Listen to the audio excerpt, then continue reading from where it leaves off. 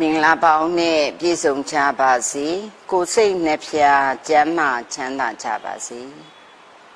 နမောတတဗကဝေတောရဟတောသမ္မာ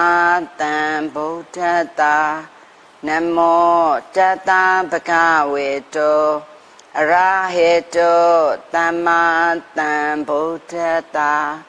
နမောတတဗကဝေတော အရဟတောသမ္မာသမ္ဗုဒ္ဓတာ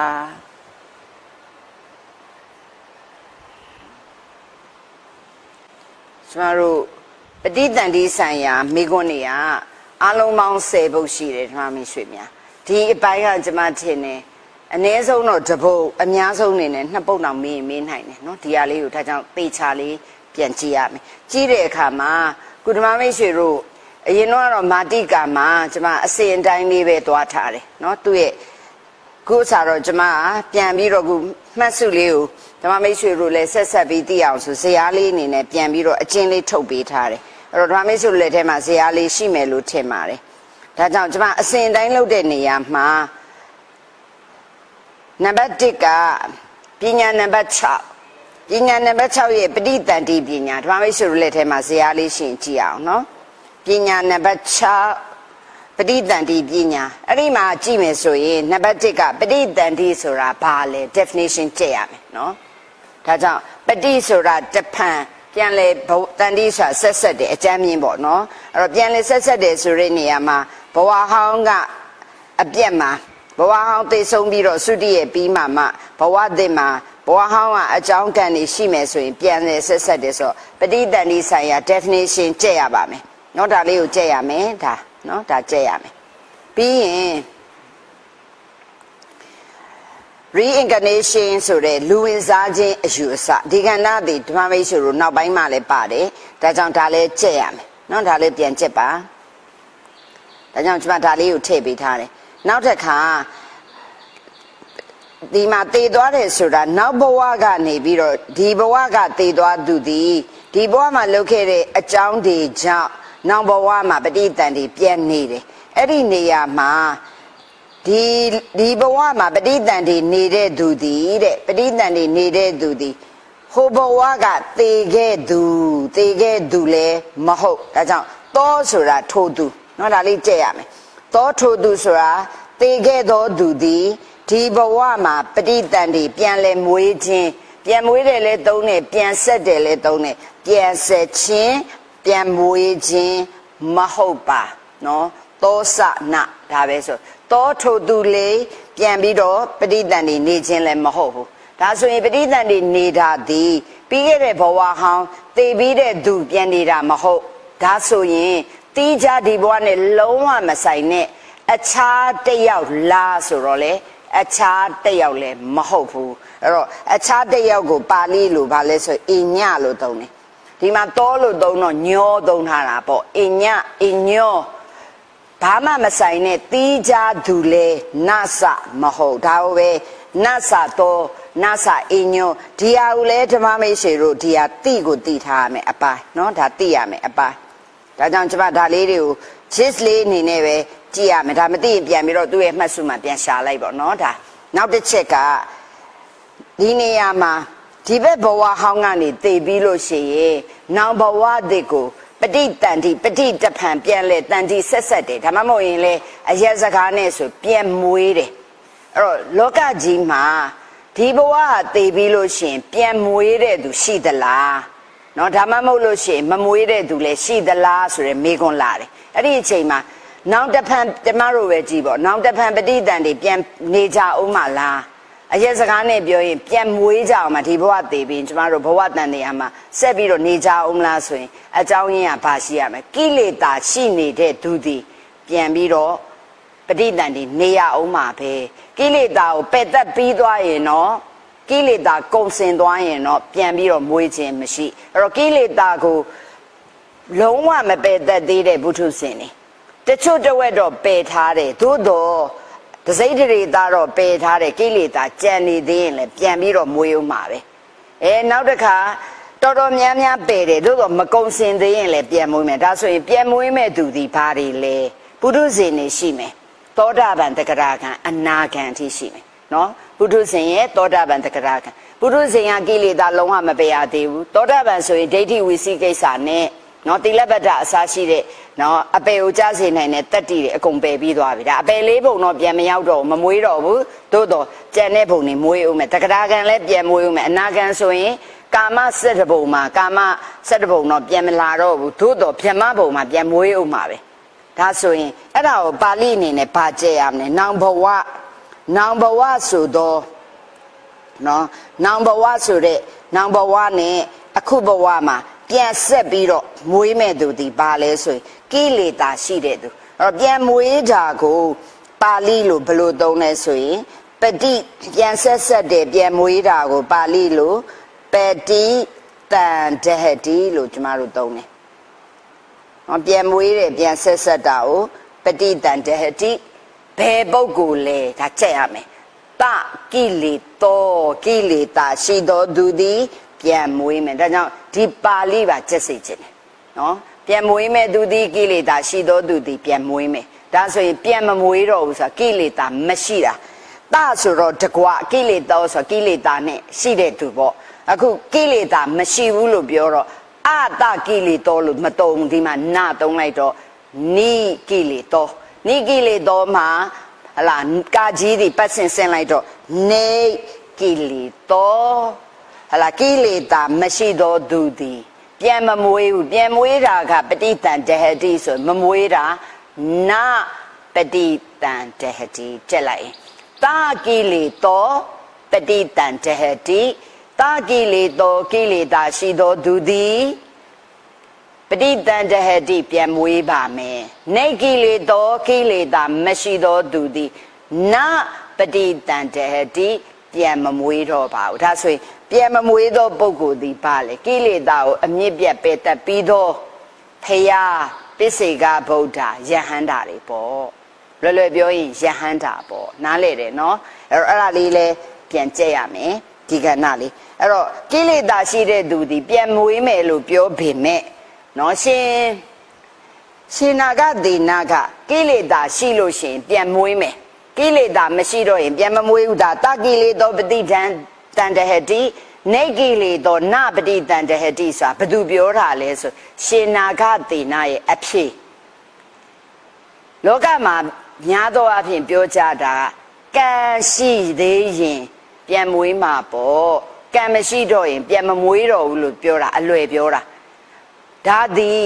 ကံတက်တက်နဲ့တော့ပြန်မမွေးဘူး ကံဒီကိလေသာကို အခြေခံထားတဲ့ကံနေရှိရင်တော့ပြန်မွေးမယ်။ဒါဖြစ်လို့လဲဆိုရင်ပဋိသင်တွေနေတယ်ဆိုတာအကျိုးတရား။နော်တော့အဲ့ဒါလေးကစာကျက်ရမှာပေါ့နော်။ပဋိသင်တွေနေတယ်ပြန်မွေးတယ်ဆိုတာဒီအကျိုးတရား။အဲ့တော့ပဋိသင်တွေအကျိုးတရားဆိုရကြပဋိသင်တွေဆိုတာဝိဘက်ပဲ။ဝိဘက်ဆိုတာကံကြောင့်ဖြစ်တာ။ ဒါဆိုရင်ပဋိတန်တွေဆိုတဲ့အကျိုးပြန်ရတာဒီဘာကြောင့်လဲလို့ရုပ်တရက်ကြည့်မယ်ဆိုရင်တော့ကံဆိုတဲ့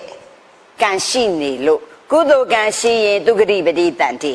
အကုသိုလ်ကံတွေဖြစ်နေရင်ဒုက္ခတိပဋိတန်တွေကံကြောင့်တော့ပဋိတန်တွေပြန်နေရမှာမှန်တယ်သို့တော်ဘယ်ကံလဲဆိုလို့ရှိရင်ကိလေသာကိုအခြေခံထားတဲ့ကံမှသာလင် ပဋိတန်တွေပြန်မွေးမယ်ပြန်ဆန်ဒီမိန်းလေးကိုမှတ်ထားရမယ်ဒါဆိုရင်ကံကြောင့်ကံဆိုတာကုသိုလ်အကုသိုလ်အဲ့ဒီကုသိုလ်အကုသိုလ်ကံတွေကြောင့်ပဋိတန်တွေဆိုတဲ့အကျိုးဝိပဲဖြစ်မှာပဲဒါကြောင့်ကံရှိရင်ပြန်မွေးမယ်ကံမရှိရင်မမွေးဘူးလို့ဖြေကြတယ်မှန်မမှားမှန်လားဆိုလို့ရှိရင်မှန်တယ်မမှားတော့မမှားဘူးသို့တော့မပြည့်စုံဘ လို့ကံရှိမှပြန်မွေးတာလဲဆိုရင်ဟရိကိလေသာကိုအခြေခံထားတဲ့ကံဆိုရင်မွေးနိုင်တယ်ဒါဆိုရင်ကံကိုပဋိစ္စသမုပ္ပတ်မှာဆိုရင်ဘာလို့သုံးလဲကံကိုသင်္ခါရလို့လည်းသုံးတယ်အတိတ်နဲ့ဆိုရင်သင်္ခါရပိစုတ်ပံပြုလုပ်တဲ့ကုသိုလ်အကုသိုလ်ကြရင်ဘာသုံးလဲကမ္မဘဝလို့သုံးတယ်ကံကို အတိတ်ကလုပ်ခဲ့တဲ့ကုသိုလ်အကုသိုလ်ကြရင်သင်္ခါရဆိုတဲ့အသုံးနှုန်းသုံးတယ်ပိစုတ်ပံအခုလုပ်နေတဲ့ကုသိုလ်အကုသိုလ်ကြရင်ကမ္မဘဝလို့သုံးတယ်အဲ့ဒါဒီဘာဖြစ်စေလဲသင်္ခါရပစ္စယဝိညာဏံဆိုတဲ့အတွက်ဒီသင်္ခါရဆိုတဲ့အတိတ်ကပြုခဲ့တဲ့ကုသိုလ်အကုသိုလ်ကြောင့်ဝိညာဏံဟူသောပဋိသန္ဓေဝိညာဉ်ဖြစ်စေတာပဲကမ္မဘဝပစ္စုပန်မှာအခုလုပ်နေတယ်ကျမတို့ကုသိုလ်အကုသိုလ်ခုဆိုရင်ကုသိုလ်ပေါ့ အဲ့ဒါဆိုရင်ကမ္မဘဝဘဝပစ္စယဘာဖြစ်လဲဇာတိဘဝအရာကမ္မဘဝဇာတိရပါလေဥပပတ္တိဘဝဇာတိပဲအဲ့တော့ဥပပတ္တိဘဝဇာတိဆိုတာလေခုနပြောတယ်ပရိစ္ဆသမုပ္ပါဒ်နဲ့ပြောရင်ဝိညာဉ်ယုတ်သလာယရဏဖတ်တာဝေဒနာဆိုတဲ့အကျိုးတရားခန္ဓာရနေတာပဲဇာတိပစ္စယဇရမရဏသွားအောင်မှာပဲဆိုတော့ကံဆိုတာဒီအတိတ်အနေနဲ့ပြောရင်ကုသိုလ်အကုသိုလ်ကံတွေကို သင်္ခါရလို့သုံးနေတာပဋိစ္စသမုပ္ပါဒ်မှာသင်ထားတယ်ပိဿုပ္ပန်လုံးနေတဲ့ကံကိုကမ္မဘဝလို့သုံးတယ်ဒါဆိုရင်အဲ့ဒီကံဒီသင်္ခါရဒီဘယ်အောင်အခြေခံတယ်လဲသင်္ခါရဆိုတာဒီဒီကိလေသာတွေကဘာလုံးလဲအဝိဇ္ဇာပစ္စယသင်္ခါရလို့သုံးထားတယ်အဝိဇ္ဇာပစ္စယသင်္ခါရဆိုအဝိဇ္ဇာဒီ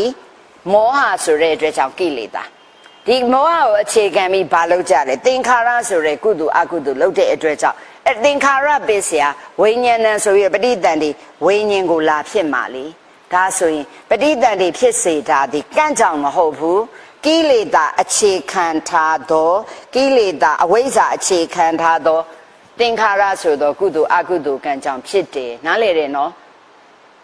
အဲ့အဲ့ဒါအရေးကြီးလို့ပြန်ပြောနေတာနောက်တစ်ချက် ခုပစ္စုပန်မှာရောဘာလုပ်ကြလဲပစ္စုပန်မှာလုပ်နေတဲ့ကုသိုလ်အကုသိုလ်စေတနာတွေကိုတော့ကမ္မဘဝလို့သုံးတယ်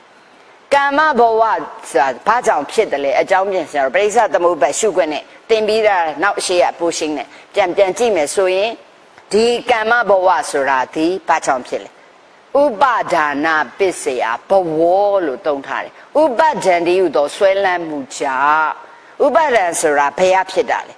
တဏပစ္စယဥပါဒဏံလို့သုံးတဲ့အတွက်ကြောင့်ဒီကမ္မဘဝတွေဖြစ်ရတာဒီတဏတဏဆိုတာဒီလောဘပဲအားသေးတဲ့လိုချင်မှုဒီတဏလိုချင်တယ်လောဘအားကြီးသွားလို့ရှိရင်လိုချင်တာကနေဘာဖြစ်သွားလဲဆွဲလန်းသွားတယ်အစင်ရောက်အဲ့ဒါဘာလဲဥပါဒဒါဆိုရင်တဏပစ္စယဥပါဒါနံဥပါဒနာပစ္စယဘဝဘဝပစ္စယ ဟောဒီမှာဇာတိဆိုတဲ့ပဋိသန္ဓေလာတာပဲဒါဆိုရင်ပစ္စုပန်မှာလုံနေတဲ့ကံနေသည်လဲဘာဘာဘာအရင်ခံတဏဆိုတဲ့ဥပဒံဆိုတဲ့လိုချင်ဆွဲလန်းမှုတွေပို့အရင်ခံတဲ့ကိလေသာကိုအခြေခံတဲ့အတွက်ကြောင့်ပဋိသန္ဓဟတိပြန်မွေးတယ်ဆိုတာဒီကိလေသာနဲ့ကံအခြေခံတဲ့အကြောင်းကြောင့်ပြန်မွေးခြင်းဖြစ်တယ် သို့တော်လွယ်အောင်ဗာပြောကြလဲဆိုရင်ကံရှိရင်ပြန်မွေးမှာပေါ့လို့ပြောတယ်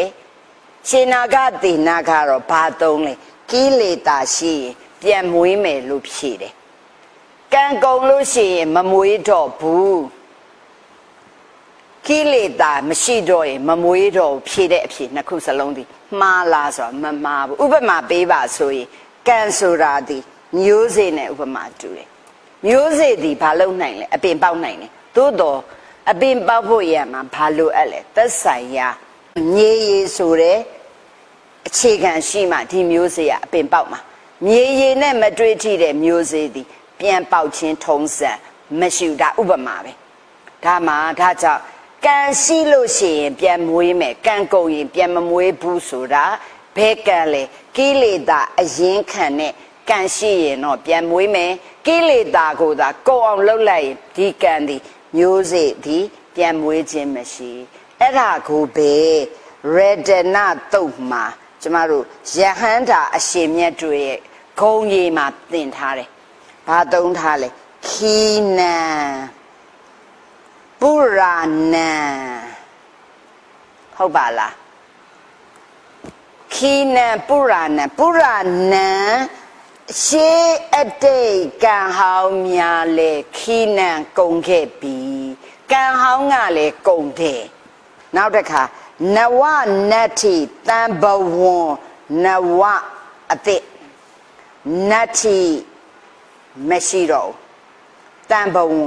ဘဝသစ်တွေကိုဖြစ်စေတဲ့နော်ကံအသစ်လည်းပြုခြင်းမရှိတော့ဘူးနော်ဒါကြောင့် ဝိရဒစိတ်တာယတိကေဘဝတမိန်ဟလာဒီဘဝတွေမှာလဲညွတ်ကိုင်းဆိုင်တာဘဝတွေမှာလိုချင်တဲ့စိတ်လဲမရှိတော့ဆိုတော့အဲ့ဒီမှာခီနံပုရဏံဒီမှာလဲနဝနတ္ထိတံဘဝံလို့ဒီမှာသုံးထားတဲ့အတွက်ကံအသစ်လဲပြုခြင်းမရှိကံဟောင်းတွေလဲကုန်ခဲ့ပြီဆိုတော့တဲ့ရတနာတုတ်မှာဆိုရင် ဒီနေရာမှာပဋိတန်ဒီမနေတော့တဲ့ယဟန္တာအရှင်မြတ်သည်ပါတယ်လေကံဟောင်းတွေလဲကုန်နေကံအသစ်လဲမလုတော့ဘူးလို့ပြောထားတော့ရှင်နာဂသေနာရဲ့စကားကကိလေသာကုန်ရင်မမွေးတော့ဘူးကိလေသာရှိရင်မွေးမယ်ဆိုစန့်ကျင်မနေဘူးလားဆိုမစန့်ကျင်ဘူးတူတူပဲဟုတ်တယ်နော်ကံဟောင်းတွေကုန်ခဲ့ပြီဆိုတဲ့အတွက် ဘာတွေအဲ့ဒီကံဟောင်းတွေကုသိုလ်အကုသိုလ်ကံဟောင်းတွေကိုဘာနဲ့လှုပ်လိုက်တာလဲဖယ်လိုက်တာလဲအရဟတမေနဲ့တဏှာနော်အရဟတမေနဲ့တဏှာကိလေသာတွေကိုပယ်လိုက်တဲ့အတွက်အာသေးဝနပစ္စည်းမယအကြောင်းချို့ကရှေ့အကျိုးမပေးသုံးစိတ်သောရှေးဇောခုနှစ်ချက်စေတနာသည် အဟောတိကံဖြစ်တဲ့အတွက်ကြောင့်အရဟတမေနဲ့ ကိလေသာအာသဝတွေကုံအောင်ပယ်လိုက်ရဲ့အဲ့ဒီကံနေသည်အကျိုးမပေးတဲ့အတွက်အဟောတိကံလို့ဒါကြောင့်ဒီစကားနှစ်ခုသည်စန့်ကျင်မှုမရှိပါအဲ့ဒါအဲ့ဒီကဏ္ဍသည်ပထမ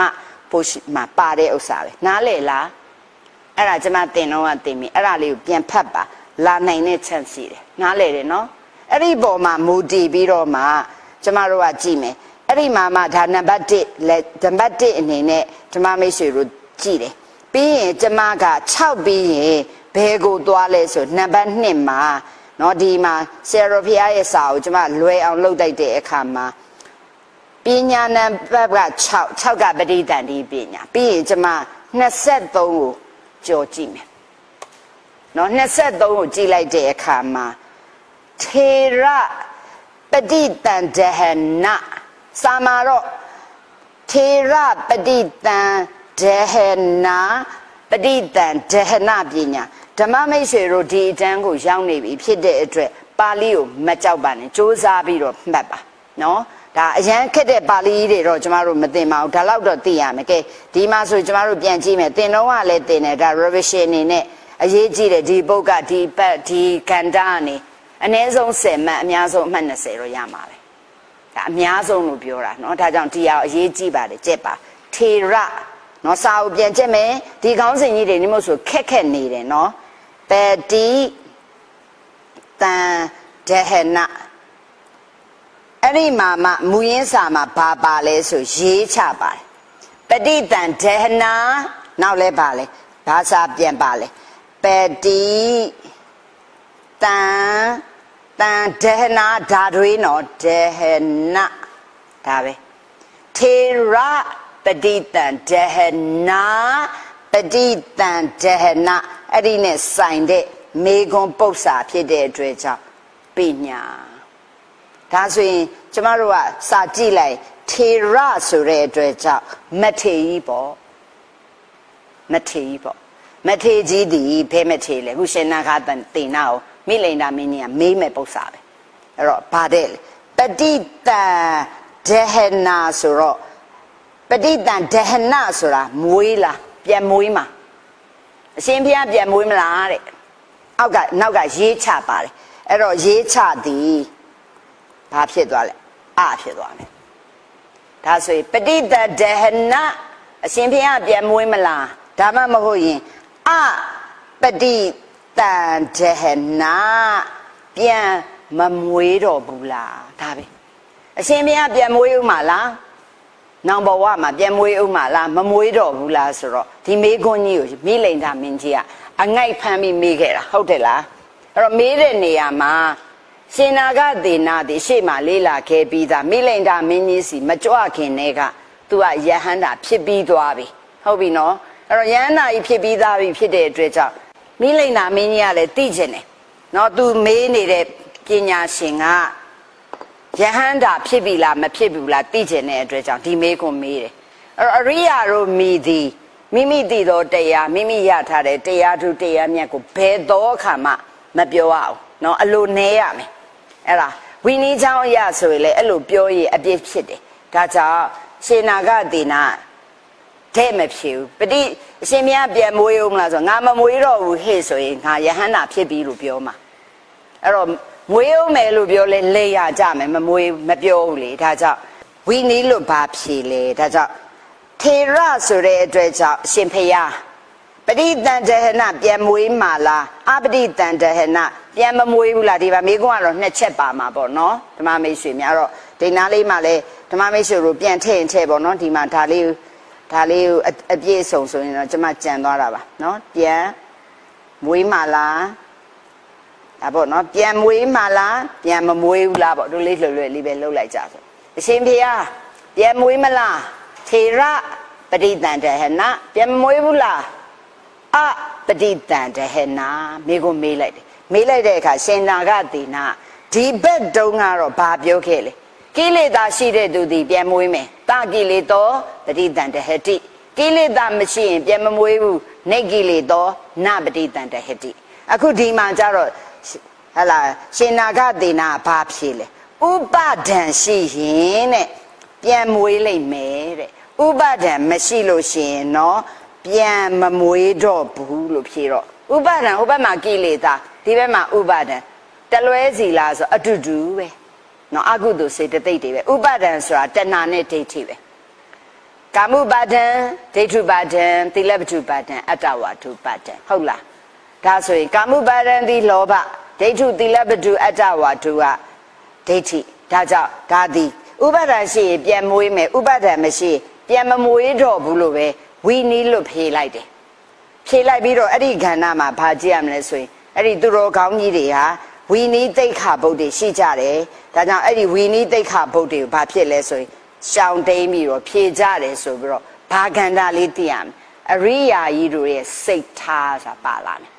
အရိယာတို့ရဲ့စိတ်ထားမှာသောတာပန်လည်းပါမှာပေါ့တက္ကရာခံအနာခံယဟန္တာလည်းပါမှာပဲဒီနေရာမှာ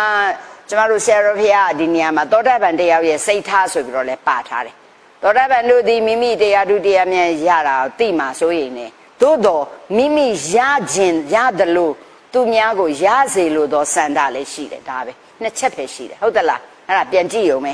ပြီးရင်အဲ့ဒီမှာမှာအလိုနဲတယ်ဆိုတာ ਨੇ ပတ်သက်ပြီးတော့အပိစ္ဆဂုံ၃ပါးဆိုတာရှိတယ်ဓမ္မမိတ်ဆွေများအဲ့ဒါလေးလေမေးမယ်ဆိုရင်မေးလို့ရတာပေါ့နော်အပိစ္ဆဂုံဆိုတာနော်မိမိရထားတာတွေကိုမကြွားပါဘူးအလိုနဲတယ်လူသိမှစိုးရင်တယ် အဲ့ဒီမှာအပိဿ၃ပါးဒီပါလေပရိယတိအပိဿဟုတ်တယ်လားအပိဿဆိုတာအပ္ပ plus အိဿပေါင်းထားပါတယ်အပ္ပဆိုတာနဲတယ်ဟုတ်တာလားနဲတယ်မရှိဘူးအတူတူပဲနောက်တစ်ခါအိဿဆိုတာအလိုဆန္ဒပဲနော်အလိုဆန္ဒမရှိတာအပ္ပအပ္ပအိဿပေါင်းလိုက်တော့အပိဿနော်အပိဿဂုံ၃ပါးမှာပရိယတိအပိဿမိမိပညာတတ်တာ ကိုမသိစေခြင်းနောက်တစ်ခါပါလေဒုတင်ကအပိစ္ဆာမိမိဒုတင်ကျင့်တာနဲ့ပတ်သက်ပြီးတော့မသိစေခြင်းကြွားဝလို့ခြင်းမရှိဘူးနောက်တစ်ခါအဓိကမအပိစ္ဆမိမိတရားထုတရားမြတ်ရတာလည်းမသိစေခြင်းမူဆိုတဲ့အတွက်ခုဒီနေရာမှာအရှင်ဘုရားပြန်မွေးဦးမလားမမွေးဘူးလားဆိုတော့ဥပါဒံရှိရင်ပြန်မွေးမယ်ဥပါဒံမရှိရင်ပြန်မမွေးတော့ဘူးဆိုတာ ਨੇ ပတ်သက်ပြီးတော့ဘယ်အပိစ္ဆလဲအဓိကမအပိစ္ဆပေါ့ မိမိတရားထုတရားမြတ်ရတာကိုမသိစေခြင်းသောတာပန်တယောက်ကလည်းမိမိသောတာပန်ဆိုတာမသိစေခြင်းနာဒီပါလေ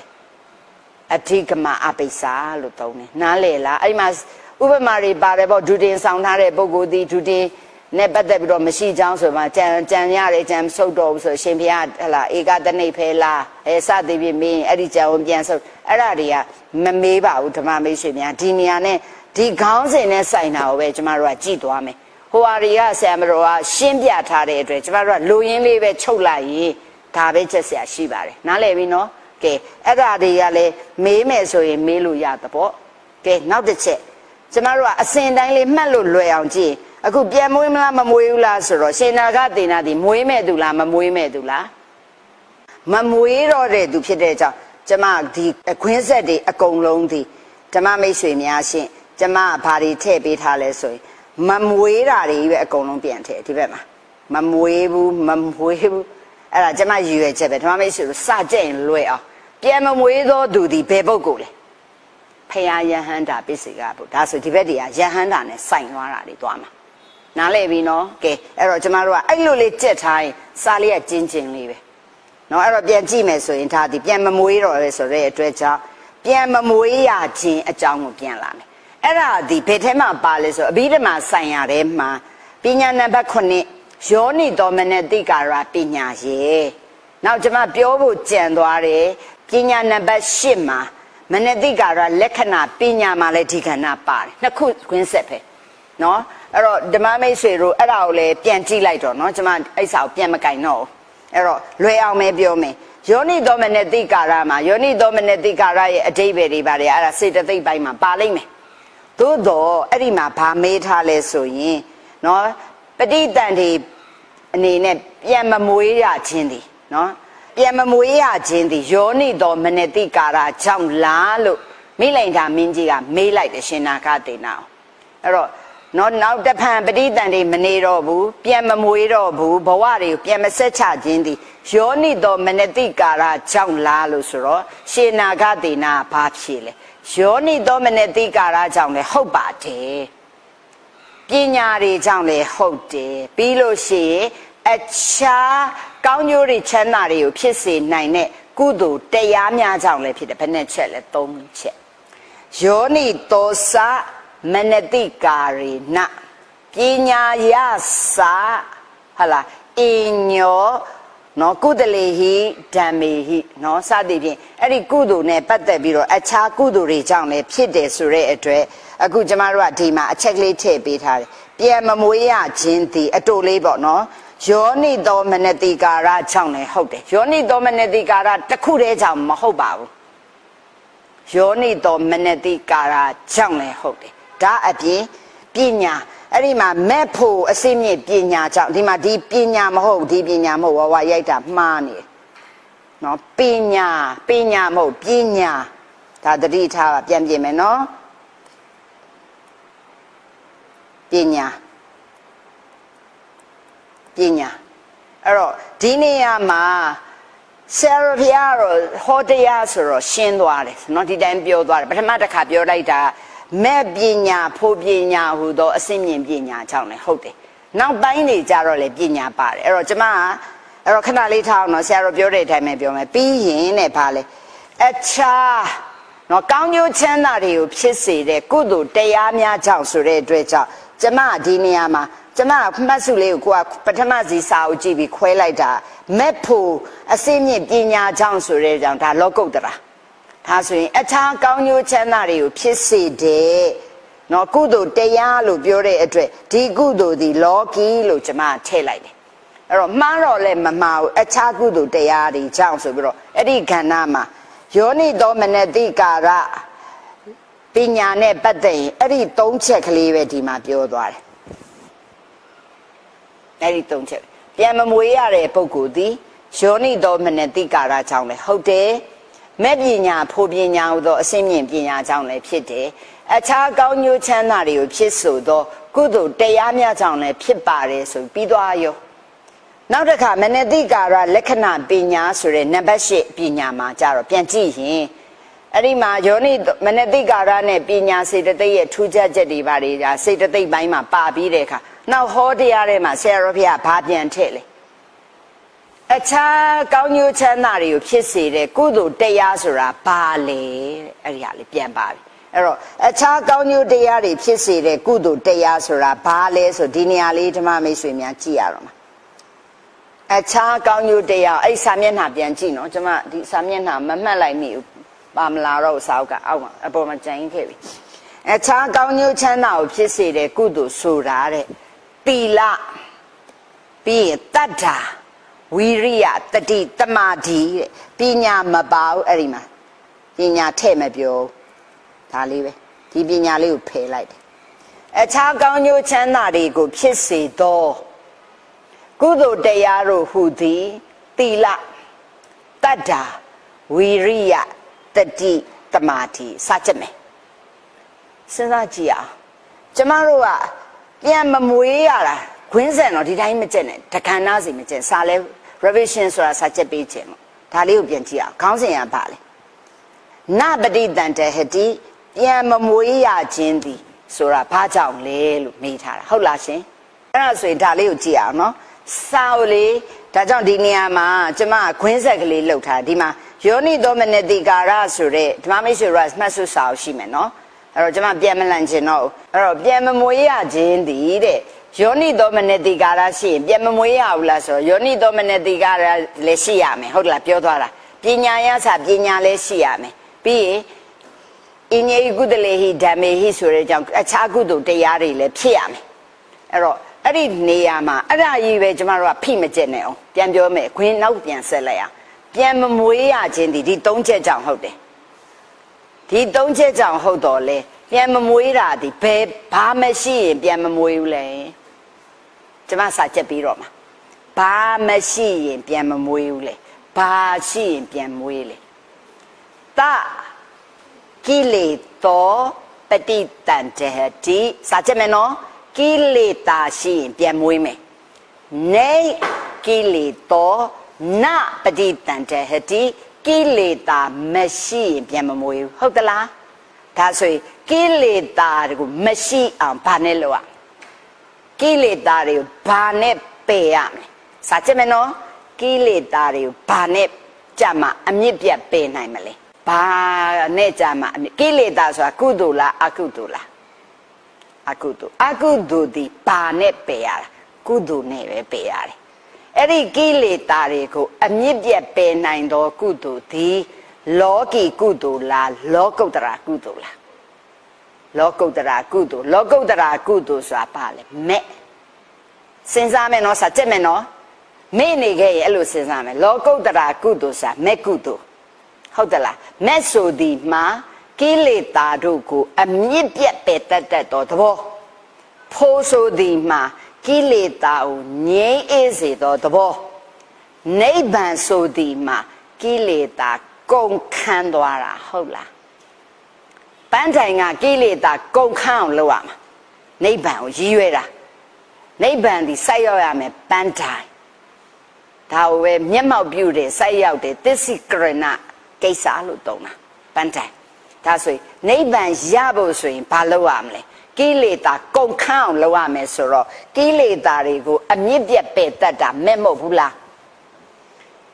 မက်ကကိလေသာအမြင့်ပြတ်ပယ်လိုက်တယ်ဖိုဝကိလေသာကိုငြိမ်းအေးစေတယ် မက်ဖို့ရသောသူသည်မက်စိတ်ဖို့စိတ်တို့သည်နိဗ္ဗာန်ကိုအာယုံပြုလားမပြုဘူးလား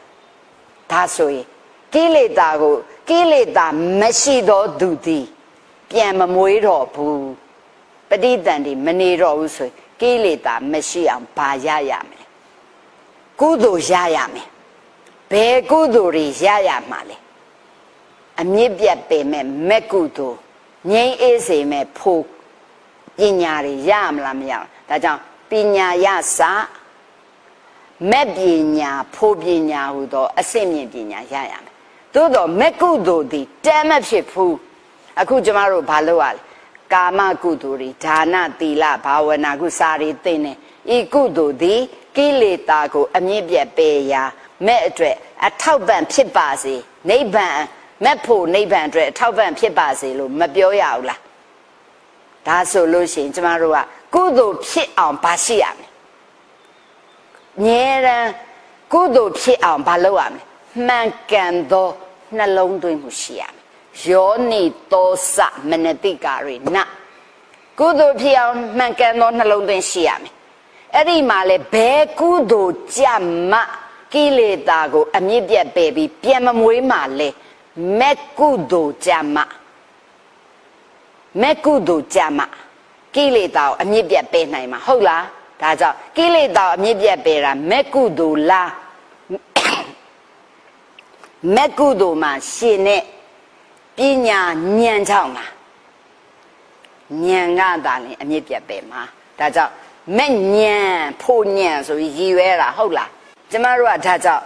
ကိတန်တရားမှာကိလေသာတွေမရှိအောင်ကြိုးစားခြင်းပညာနဲ့ရှိအောင်ဉာဏ်ရှိအောင်ကြိုးစားရမှာမဟုတ်ဘူးလား ဒါကြောင့်မပယ်နိုင်သေးတဲ့အချိန်မှာမဲ့ဉာဏ်မရသေးခင်မှာလေဓမ္မအတိပညာတွေနဲ့အကျိုးရှိရှိနေပါလို့ဆရာတော်ဖျားရပြောထားတယ်ဟုတ်ဘူးလားဒါကြောင့်နံပါတ်1ယောနိသောစမနတိကာရေနနံပါတ်1ပညာယစဘာပညာလဲပြန်မမွေးတော့ယံကိလေသာကိုအမြင့်ပြတ်ပဲနိုင်သော မဲ့ပညာဖို့ပညာရအောင်ကြိုးစားရမှာဟုတ်လား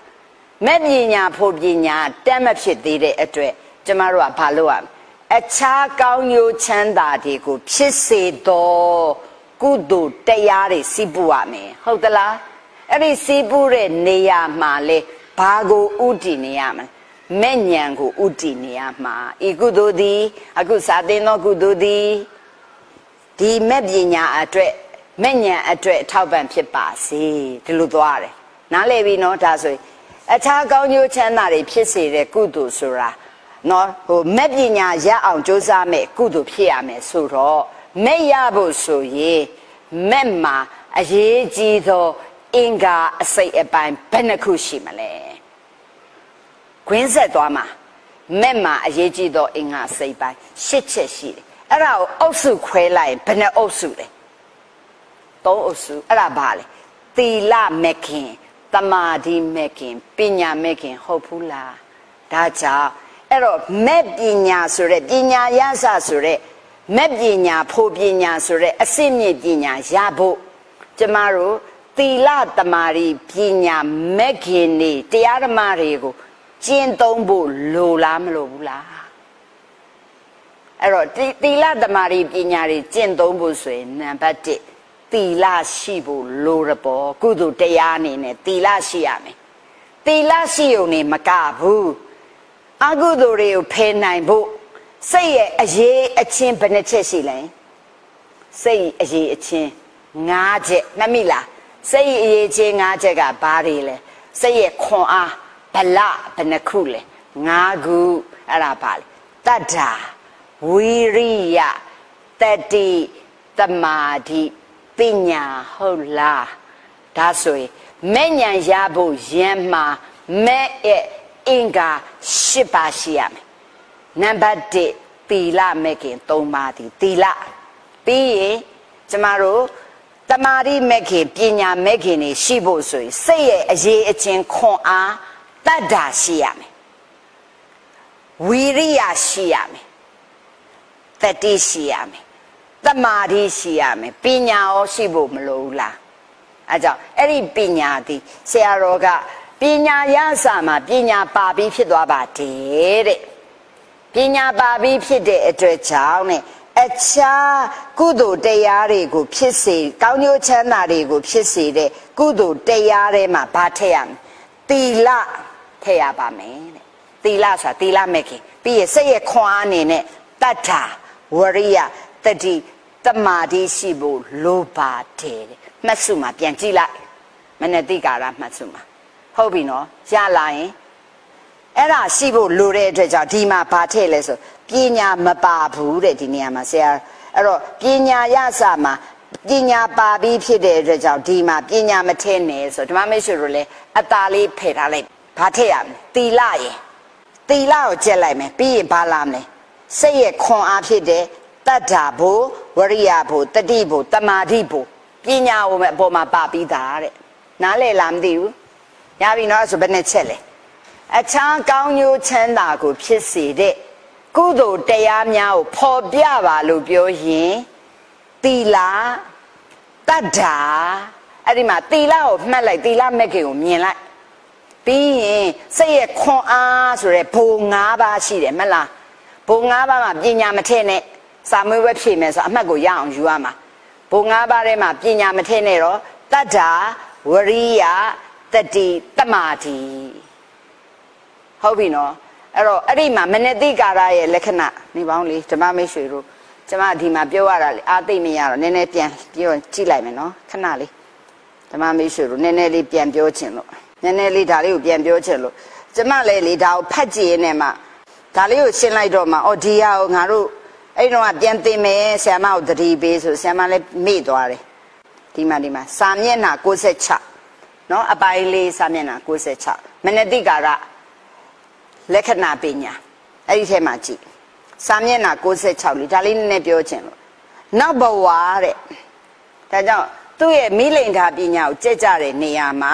ဓမ္မမိတ်ဆွေများရှင်အစဉ်တိုင်းသာလဲကျလိုက်ကြရင်ကျမတို့အခုချိန်ဒီအကုန်လုံးကဘာတွေဖြစ်နေမှန်းတော့မသိဘူးเนาะ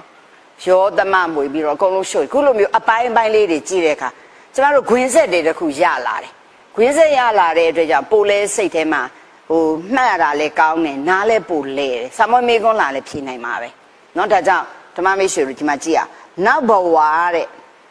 ပဋိတန်တွေပြန်မနေအောင်ဘာနဲ့လုပ်တော့နဲ့မိလိန်ဒါမင်းကြီးကမေးတာကိုရှေနာကသေနာဖြည့်တဲ့အထဲမှာပညာရဲ့တဲ့အဲ့ဒါပညာရစ အခြားကုသိုလ်တရားတွေရဲ့တဲ့အဲ့ဒါကြောင့်နောက်ဘဝပြန်မမွေးတာလို့ပြောတယ်တဲ့အဲ့တော့အဲ့ဒီရဲ့အရှိမဓမ္မမိတ်ဆွေတို့သိတယ်နော်သူ့ရဲ့အရှိမခဏလေးပြန်ကြည့်လိုက်အောင်မယ်အပိုင်းလေးအဲ့ဒါလေးလေအဲ့ဒါကြောင့်ကျမထင်တယ်ဒီနေရာလာနိုင်တယ်သိလားအဲ့ဒါကြောင့်ကျမထပ်တင်နေတာမိကွန်းမခက်လဲမခက်ဘူးနော်လွယ်လဲမလွယ်ဘူးမှတ်စရာလေးတွေအမှတ်ပေးစရာအများကြီးပါတယ်ဒါကြောင့်ဒီနေရာသိချချက်ပါမယ်ထင်တယ် နော်ဒီမှာကြည့်ရအောင်နော်ယောနိသောမနတိကာရနဲ့ပတ်သက်ပြီးဒါယောနိသောရှေ့နံပါတ်အပညာနံပါတ်9နော်ဗန္ဒေနာကတိနယောနပတိတန်တေဟတိနနုသောပတိယောနိသောမနတိကာရေနနပတိတန်တေဟတိမြန်မာလိုပဲကြည့်ဘဝတစ်ခုမှာပြန်မမွေးတဲ့ပုဂ္ဂိုလ်ဟာယောနိသောမနတိကာရအစွမ်းကြောင့်ပြန်မမွေးတာလားတဲ့အဲ့တော့ဘာလို့ဖြေလိုက်တယ်ရှင်နာကသေနာဖြေတယ်ယောနိသောစမနတိကာရေန ပညာယစအင်ညေဟိစကုတလေဟိဓမ္မေဟိတဲ့နာပတိတန်တဟတိပြန်မမွေးတော့ဘူးဆိုတာယောနိသောစမနတိကာရေနယောနိသောမနတိကာရဆိုတဲ့မှန်ကန်တဲ့နှလုံးသွင်းမှုကြောင့်လည်းဖြစ်အတူလိုက်စာပြန်ကြက်ပါနော်နားရထောင်ယူမထောင်နဲ့စိတ်စိတ်ကလေးကိုစိုက်ထားလိုက်အိမ်မှာလိုက်ပြီးတော့အဲ့ဒါမှတ်မယ်နံပါတ်1ပညာရစာမက်ပညာဖို့ပညာဆိုတဲ့အစစ်မြင့်ပညာကြောင့်လည်းဖြစ်ဒီမှာတော့ မက်ပညာဖို့ပညာဆိုတဲ့အစစ်မြင့်ပညာကိုပဲဆရာတို့ပြောထားတယ်တတိထားနောက်တစ်ခုနံပါတ်3အင်ညေဟိစကုအကုကုတလေဟိဓမ္မေဟိအခြားကောင်းကျိုးချမ်းသာကိုဖြစ်စေတတ်သောကုသိုလ်တရားကြောင့်လည်းဖြစ်တယ်အဲ့ဒါကိုဆိုလိုဒါဂဆိုပြီးပြန်ရှင်းလိုက်တယ်ဒါယောနိသောမနတိကာရဆိုရဲမှန်ကန်တဲ့နှလုံးသွင်းရှိမှကုသိုလ်ဖြစ်ကြမှာပညာရစဆိုမဲ့ပညာဖို့ပညာရရမယ်မဲ့ဆိုတာကိလေသာတွေအမြင့်ပြတ်ပေတော့ ဒီပုဂ္ဂိုလ်ဒီပြန်မမွေးဘူးပေါ့ဒါဆိုယန္နာဖြစ်ရင်ကိလေသာကိုပြန်ပယ်တတ်နိုင်ရမယ်ဒါကြောင့်ကိလေသာပယ်တတ်ဖို့ဆိုတာမဲ့ရဖို့လိုလားမလိုဘူးလားအဲ့တော့မဲ့ရဖို့ဆိုရင်ဘာလုပ်ရမလဲမဲ့ခင်ရှစ်ပါးဆိုတဲ့သီလသမารီပညာတရားဓမ္မတွေကိုကျင့်သုံးဖို့လိုလားမလိုဘူးလားဒါကြောင့်ဆိုလိုဒါကအဲ့ဒါတိတ်ကောင်းလို့ဆိုလိုဒါကကျမကြီးဒီမှာသင်ထားတယ်တရားဓမ္မကိုကျင့်သုံးပြီးတဲ့အခါတရားဓမ္မကိုကျင့်သုံးပြီးတဲ့အခါဆိုတာသီလမဲ့ခင်တမာရီမဲ့ခင် ပညာမဲ့ခင်မဲ့ခင်ရှစ်ပါးတွေလုံးမမဲ့ဖြစ်မှာ哦ဒါကြောင့်တရားဓမ္မကိုကျင့်သုံးပြီးသောအခါဆိုကျမအိမ်မှာတို့ပေးထားတယ်တွေ့လားသီလတမာရီပညာတွေကျင့်သုံးပြီးတဲ့အခါဘာရသွားမလဲမဲ့ခင်နေပေါင်းရင်မဲ့ရပြီပေါ့မဲ့ရတဲ့အတွက်ကြောင့်အတိပညာနဲ့ဆိုတာမဲ့ရောဖို့ရောဖြစ်သွားပြီဘာလုပ်လဲနိဗ္ဗာန်ကိုရှုမြင်သုံးသပ်ပြီးအိဆာပိုက်ကလေးအရေးကြီးလို့နိဗ္ဗာန်ကိုရှုမြင်သုံးသပ်ပြီးဘာလုပ်လဲ ကိုတန်တမာရှိသောကိလေသာတွေငြိမ့်သွားမှငြိမ့်တယ်ဆိုတာဖို့တိုင်အောင်ငြိမ့်တာဟုတ်လားမက်ကပဲ့တယ်ပြီးဖို့ကငြိမ့်သွားမှပြန်မမွေးတော့ဘူးဆိုတာဖြစ်မှာကိုဒီစာကြောင်းလေးအတိတ်ပဲဘလောက်ကောင်းထားသလဲအဲ့ဒီစာကြောင်းစာမွေးမှာထဲ့ကိုဖြေရမယ်နော်ဓမ္မမိတ်ဆွေများပြန်မမွေးတော်ဘူးဆိုတာသီလသမာဓိပညာမဲ့ခင်ရှစ်ပါးဒီဟုသော တရားဓမ္မတွေကိုကျင့်သုံးပြီးမှကိအတိပညာမဲ့ဖို့အတိပညာသူဆရာတော်ပြောတာကတော့အတိပညာကျမတို့ကဘယ်လက်သေးခွင်းလေးနဲ့ဘေးမှာထည့်ဖြည့်မယ်မဲ့ဖို့အတိပညာတို့ဖြင့်ဆိုလိုတာမဲ့ညံဖို့ညံတို့သည်နိဗ္ဗာန်ကိုအာယုံပြုတာမဟုတ်ဘူးလားဒါကြောင့်မဲ့မဲ့ရသွားရင်လည်းမဲ့စောတစ်ချိန်ဆိုလည်းနိဗ္ဗာန်အာယုံပြုတယ်ဖိုစောနှစ်ချိန်သုံးချိန်ဖြစ်စေဖလားသမတ်ပတ်ဝင်စားနေတာဖြစ်စေ နိဗ္ဗာန်ကိုအာယုံပြုတယ်မဟုတ်ဘူးလားဒါကြောင့်အတိပညာဆိုတဲ့ပညာရစအစစ်မြင့်မဲ့ပညာဖို့ပညာတို့ဖြင့်နိဗ္ဗာန်ကိုရှုမြင်သုံးသပ်ပြီးဟုတ်ကလားမိမိတန်တန်မှရှိတဲ့ကိလေသာများကိုငြိမ့်စေသောအခါငြိမ့်စေသောအခါဘယ်တော့မှပြန်မမွေးဘူးဖြစ်မှာကိုတဲ့နားလေသွားလား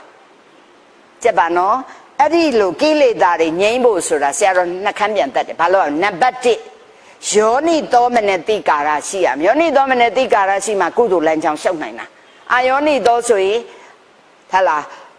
ဘေးတွေကြည့်ပြီးအပြစ်တွေပဲမြင်တော့မှာယောနိသောရှိမှအမှန်ကန်ကိုမြင်မှာဟလားယောနိသောမနတိကာရလည်းရှိရမယ်နံပါတ်1ပညာလည်းရှိဒီမှာတော့ဆရာတော်ကဘာသုံးလိုက်လဲပညာလည်းရှိရမယ်လို့ဟလာအစစ်မြင့်ပညာမသုံးပညာလည်းရှိအဲ့ပညာဒီမက်ပညာဖို့ပညာရဖို့အခုအချိန်နဲ့က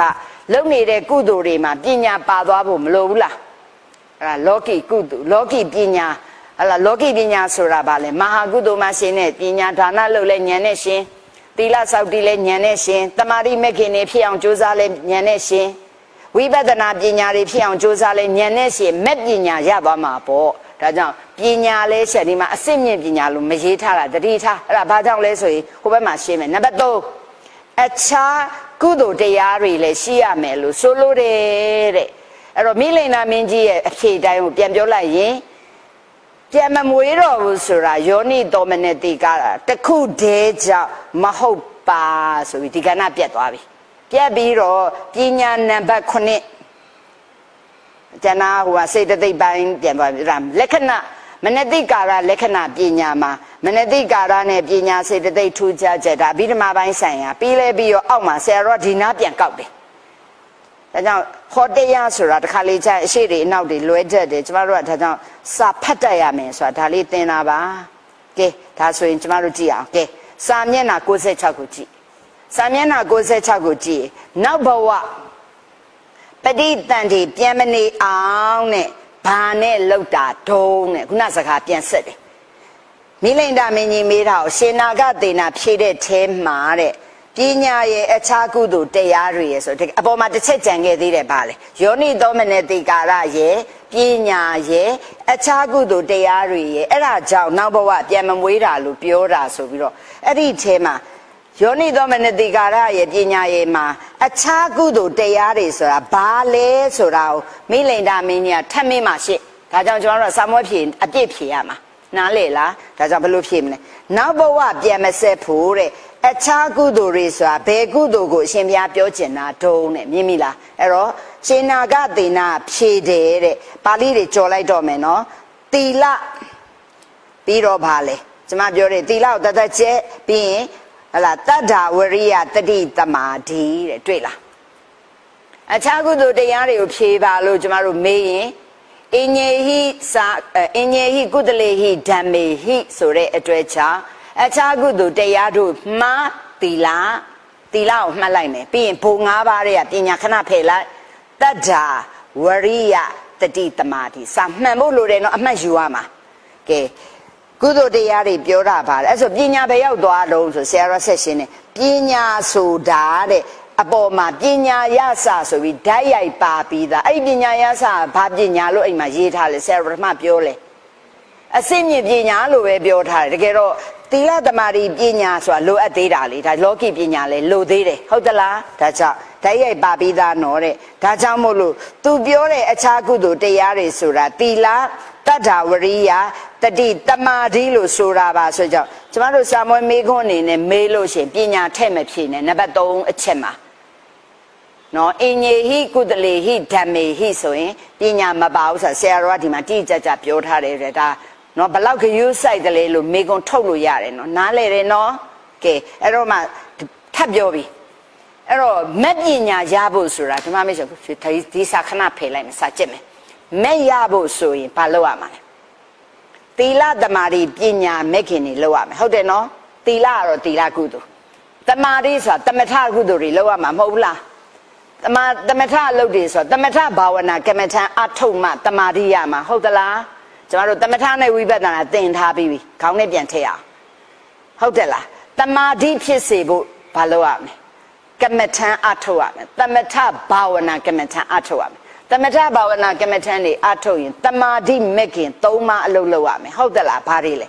တမ္မာဝါယမတမ္မာတတိတမ္မာတမာတိပြီးရင်ဝိပဿနာမဲ့ရန်ကြဖို့ဆိုရင်တမထဘာဝနာကမ္မထံကတမာတိပဲရမယ်စိတ်အညစ်အကြေးစင်တာပဲရှိမယ်ဝိပဿနာပဲကူရမှာဟုတ်လားမဟုတ်ဘူးလားဒါဆိုရင်ယထာဘုဒ္ဓညာနာတဒနာဆိုရဲမိမိရဲ့ယုံ nant ခန္ဓာတွေအကြောင်းသိအောင်လုပ်ရမယ် ပြီးရင်ယုံ nant တွေရဲ့အကြောင်းကျိုးသိရမယ်ပြီးရင်ယုံ nant တွေရဲ့မမြဲစင်ရဲ့အစိုးမရတဲ့လက္ခဏာသုံးပါးမြင်ဆက်အားထုတ်တော့မှမဲ့ဝိပဿနာဉာဏ်ပြီးရင်မဲ့ဉာဏ်ရမှာမဟုတ်ဘူးလားဒါဆိုရင်ဝိပဿနာဘာဝနာကမ္မထံကိုအထုတ်ရမှာဟုတ်ဘူးလားဒါဆိုရင်အဲ့ဒီမှာပညာမဲ့ခင်နှစ်ပါးမလို့ဘူးလားတမ္မာဒိဋ္ဌိနဲ့တမ္မာသင်္ကပ္ပဒါဆိုရင်ကမ္မထံမဲ့ဉာဏ်ရဖို့ဆိုရင်မဲ့ခင်၈ပါးလို့တယ်သီလဖယ်လိုက်ဖယ်လိုက်ရင် ကျန်တဲ့အချိန်မှာကမ္မထံအထုတ်ရင်သမထကမ္မထံနဲ့ဝိပဿနာကမ္မထံအတွက်ကမ္မထံအထုတ်ရင်တမာတိမဲ့ခင်၃ပါးနဲ့ပညာမဲ့ခင်မလို့ဘူးလားဒါကြောင့်အခုပညာရစမဲ့ပညာရဖို့ရမ်းမှာမဲ့ခင်၈ပါးတည်းမှကမ္မထံအထုတ်သူသည်အလုံးမဲ့ခင်၅ပါးလိုအပ်ပါသည်အဲ့ဒါဘာလဲတမ္မာဝါယမတမ္မာတတိ တမ္မာတမာတိတမ္မာသင်္ကပ္ပတမ္မာဒိဋ္ဌိအဲ့ဒါလေးလေဆရာတော်ကထည့်ထားတယ်ဟုတ်ပြီနော်ဒါကြောင့်ကမ္မထံအလုတ်ကိုအားထုတ်ပြီးဆိုရင်နဲ့ဒီခုနပြောတဲ့သီလတတ္တာဝရိယတတိတမာရိပညာဆိုတဲ့အဲ့ဒီအခြားကုသိုလ်တွေဒီမပါမဖြစ်တဲ့အရာတွေတဲ့တခါဆက်ပြောပြီ တရားအားထုတ်တယ်ဆိုတာတဲ့ဘာတွေနဲ့အားထုတ်ရမှာလဲကိုယ်တန်တန်မှာဘာတွေရှိရမှာလဲအရေးချင်းတွေဘာတွေလိုလဲဆိုရင်သီလတတ္တာသီလရှိရတတ္တာရှိရမယ်ကျိုးပန်းအထုတ်မှုဝရိယရှိရမယ်တတိရှိရမယ်တမာတိရှိရမယ်ပြီးပြီနော်ကဲအဲ့ဒီမှာမှဆက်ပြီးတော့ဆရာတော်ဘာပြောလဲမဟာတတိပဋ္ဌာနာတုံမှာကြည်လေ တဲ့တရားအထုတ်တဲ့သူတွေမှာလိုအပ်တဲ့တရားတွေဒီပါအာတာပိတဲ့တတိမာတမ္ပဇာနောအာတာပိတမ္ပဇာနောတတိမာဆိုပြီးမဟာတတိပဋ္ဌာနာတုတ်ကိုပူဇော်ရင်သိလိမ့်မယ်အာတာပိဆိုတာဝီရိယရှိရမယ်တတိမာတဲ့တတိရှိရမယ်တမ္ပဇာနော ပညာရှိရမယ်တဲ့ဒါကြောင့်မဟာတတိပဋ္ဌာနာတုတ်မှာမဲ့ဉဏ်ရဖို့ဆိုရင်ကိလေသာတွေကိုအမြင့်ပြတ်ပယ်နိုင်ဖို့ဆိုရင်ကျွန်တော်တို့မဟာတတိပဋ္ဌာနာတုတ်များစမ်းများနေလိုက်ရင်လူတိုင်းကျင့်ရန်တတိပဋ္ဌာန်သိမိသားပဲနော်အတိဆက်ရွှကြည့်ဟုတ်ဘူးနော်ဓမ္မမိတ်ဆွေများအဲ့ဒါဘာလို့လဲဝီရိယရှိရမယ်ဝီရိယဆိုတာခုနပြောတဲ့သီလတတ္တာဝရိယထဲမှာကြည်မလား မက်ခင်၈ပါးထဲမှာဆိုရင်ရောတမ္မာဝါယမမက်ခင်မဟုတ်ဘူးလားဒါကြောင့်ဝရိယရှိရမယ်ပြီးရင်ပါလေတမ္မာတတိဆိုတဲ့တတိရှိရမယ်ပြီးရင်ပါလားလေတမ္ပဇာနောဆိုတဲ့တမ္မာဒိဋ္ဌိဆိုတော့ပညာရှိရမယ်ဒါကြောင့်တတိပဋ္ဌာနာတုတ်မှာလိုအပ်တဲ့ကမ္မထံအထုတ်သူတွေမှာလိုအပ်သောအရေးချင်းကဘာတွေလဲအာတာပိ တပ္ပဇာနောတတိမှာဆိုတဲ့အကြောင်းဝရိယတတိပညာရှိရပါမယ်တဲ့အဲ့ဒီမှာဘာပါလဲပညာဆိုတာပါတယ်နော်ဟုတ်ပြီနော်ဒါပဲလားမဟုတ်သေးဘူးကမ္မထာအထုတ်တဲ့ကအရေးကြီးတဲ့၃တရား၄ခုဒါလေးတရား၃ခုမဟာတတိပဋ္ဌာနာ၃၌ကမ္မထာအထုတ်သောအခါအရေးကြီးသောတရား၃ခုကိုဖော်ပြပါလို့မေးရင်ဝရိယတတိပညာရပြီနော် ကဲနောက်တစ်ခုမဂ်ခင်၈ပါးနဲ့ပြောရင်နဲ့လာပြီကမ္မထာအထုတ်နေတဲ့အချိန်မှာအလုံးမဂ်ခင်၅ခုလိုလားမလိုလားဒါကြောင့်တမ္မာဝါယမမဂ်ခင်ဆိုတာဝရိယတမ္မာတတိမဂ်ခင်ဟာတတိတမ္မာတမာတိကတမာတိဒါတမာတိမဂ်ခင်၃ပါးပြီးရင်ပညာမဂ်ခင်နှစ်ပါးမှာတမ္မာသင်္ကပ္ပတမ္မာဒိဋ္ဌိရှင်းမလား၅ခုပါတဲ့ အဲ့တော့အဲ့ဒီ၅ခုမှာရှင်းပြတယ်တမဝေမအကျိုးစားပြီးတရားမှတ်တယ်တတိကအာယုစိုက်ပေးတယ်တမာရိယအာယုပေါ်စိတ်ကိုဆူဆွေးမိအောင်လုပ်တယ်တမသင်္ကပ္ပမှန်ကန်တဲ့ရှုထောင့်ကတွေးတောဆင်ခြင်တယ်အဲ့ဒီကြမှာတမ္မာဒိဋ္ဌိအမှန်မြင်တယ်အဲ့ဒီ၅ခုပူပေါင်းလုပ်ခြင်းတဲ့ဒါဆိုရင်နှခမ်းပြန်တတ်ပြီနောက်ဘဝမှာပြန်မဖြစ်အောင်လုပ်ဖို့ဆိုရင်ကိလေသာတွေကိုကုန်အောင်လုပ်ရပါမယ်နေကိလေသောနာပတိတန်တဟတိဖြစ်တဲ့အတွက်ကြောင့်ကိလေသာကုန်အောင်မလုပ်ရမလဲ သီလရှိရမယ်ပြီးရင်တတ္တာရှိရမယ်ဝရိယရှိရမယ်တတိတမာတိရှိရမယ်အဲ့ဒီငါဒါတွေနဲ့ပေါင်းရမယ်ဒါတွေပဲလားပညာလဲလို့တဲ့ကြောင့်ဒီတရားတွေနဲ့စုပေါင်းကြိုးစားလိုက်လို့တဲ့မက်ဖို့နိဗ္ဗာန်ရပြီဆိုရင်ဘဝပြန်မဆက်တော့နောင်ဘဝမှာပြန်မမွေးတော့ဘူးလို့ဒီလိုဆိုလိုတယ်တဲ့အဲ့ဒီထဲမှာခုနအလုံးမဲ့ခင်တွေထဲမှာတမာတိမက်ခေသုံးပါးပညာမက်ခေနှစ်ပါးကိုကြည့်ရင်တတ္ထာမပါဘူးတဲ့အခုဒီနေရာမှာ တတ္ထာကိုရှင်နာဂတိနာဘာလို့ထည့်ဖြေလဲဆိုရင်တတ္ထာဆိုတာယုံကြည်မှုတတ္ထာဆိုတဲ့ယုံကြည်မှုရှိမှကြံတဲ့ကုသိုလ်တွေလုပ်ဖို့အခြေခံတဲ့ဒါကြောင့်တတ္ထာဒီကျန်တာတွေနဲ့ဆိုင်ဒါကြောင့်တတ္ထာဒါတွေတော့ထပ်မဖတ်ပါဘူးကြပြီเนาะအဲ့လောက်လေးတတ္ထာလိုအပ်တယ်ဒါကြောင့်မက်ခင်၈ပါးနဲ့ပြောရင်တော့တတ္ထာထဲမပြောဘူးဘောတဲ့အဲ့ဒါပဲဒါဆိုရင်ဓမ္မမိတ်ဆွေတို့ဒီခန္ဓာလေးသည်နော်စာကိုပိုက်စိတ်တိုက်သေးချာကြည့်မှလဲမြင်နိုင်တယ် သူ့အုပ်စုနဲ့သူကြည့်မှလဲပို့ရှင်းတယ်အဲ့တော့ဒီခန္ဓာကိုကျမတော့ဓမ္မမိတ်ဆွေတို့အတွက်အရေးကြီးတယ်လို့ကျမကတော့နော်ပြောပေးပါတယ်ကျမလည်းမသိဘူးနော်မှန်းကြည့်တာပေါ့နော်ကျမရဲ့စာသင်နဲ့အတွေ့အကြုံရနဲ့ဆိုရင်မိကွန်းလဲထုတ်ရတဲ့နေရာမှာစာသင်သားတွေအတွက်လဲဘဝအတွက်လဲလမ်းကြောင်းအတွက်လဲအရေးကြီးရမယ်ခက်လည်းမခက်ရဘူး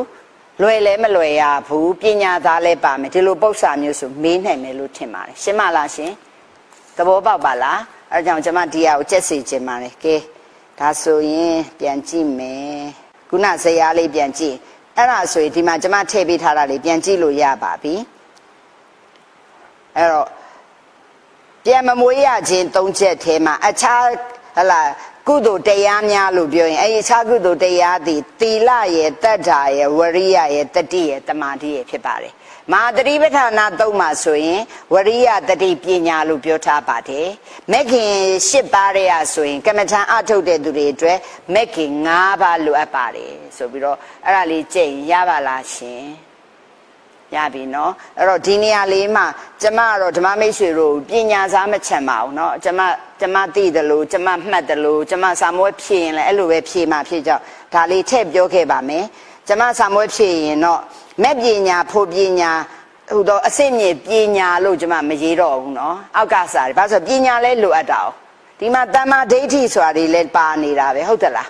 အဲ့တော့အာတာပိတမ္ပဇာနောတတိမာဆိုတဲ့အတွက်ကြောင့်ပညာပါနေတာပဲအဲ့ဒီပညာဒီဟိုစ조사ထုတ်နေတာဖြစ်နေတဲ့အတွက်ကြောင့်မဲ့ပညာမဟုတ်သေးဘူးမဲ့ရဖို့စ조사နေတယ်ဒါကြောင့်ကျွန်မဒီနေရာမှာနံပါတ်1အချက်ကိုကျွန်မဖြေလို့ရှိရင်ပညာရစနော် မဲ့ပညာဖို့ပညာဟူသောအစင်းမြင့်ပညာရအောင်စ조사အထုတ်တော့အဲအစင်းမြင့်ပညာဖြစ်အောင်အစင်းမြင့်ပညာကိုဥတည်ပြီးတော့ဖြည့်စည်းရမယ်ပညာပေါ့ပညာရှိရမည်ဒါပဲပညာရှိရမည်ပညာရစပညာရှိရမည်ဘယ်ပညာလဲမဲ့ပညာဖိုးပညာဟူသောအစစ်မြင့်ပညာရစေမိတိုင်အောင်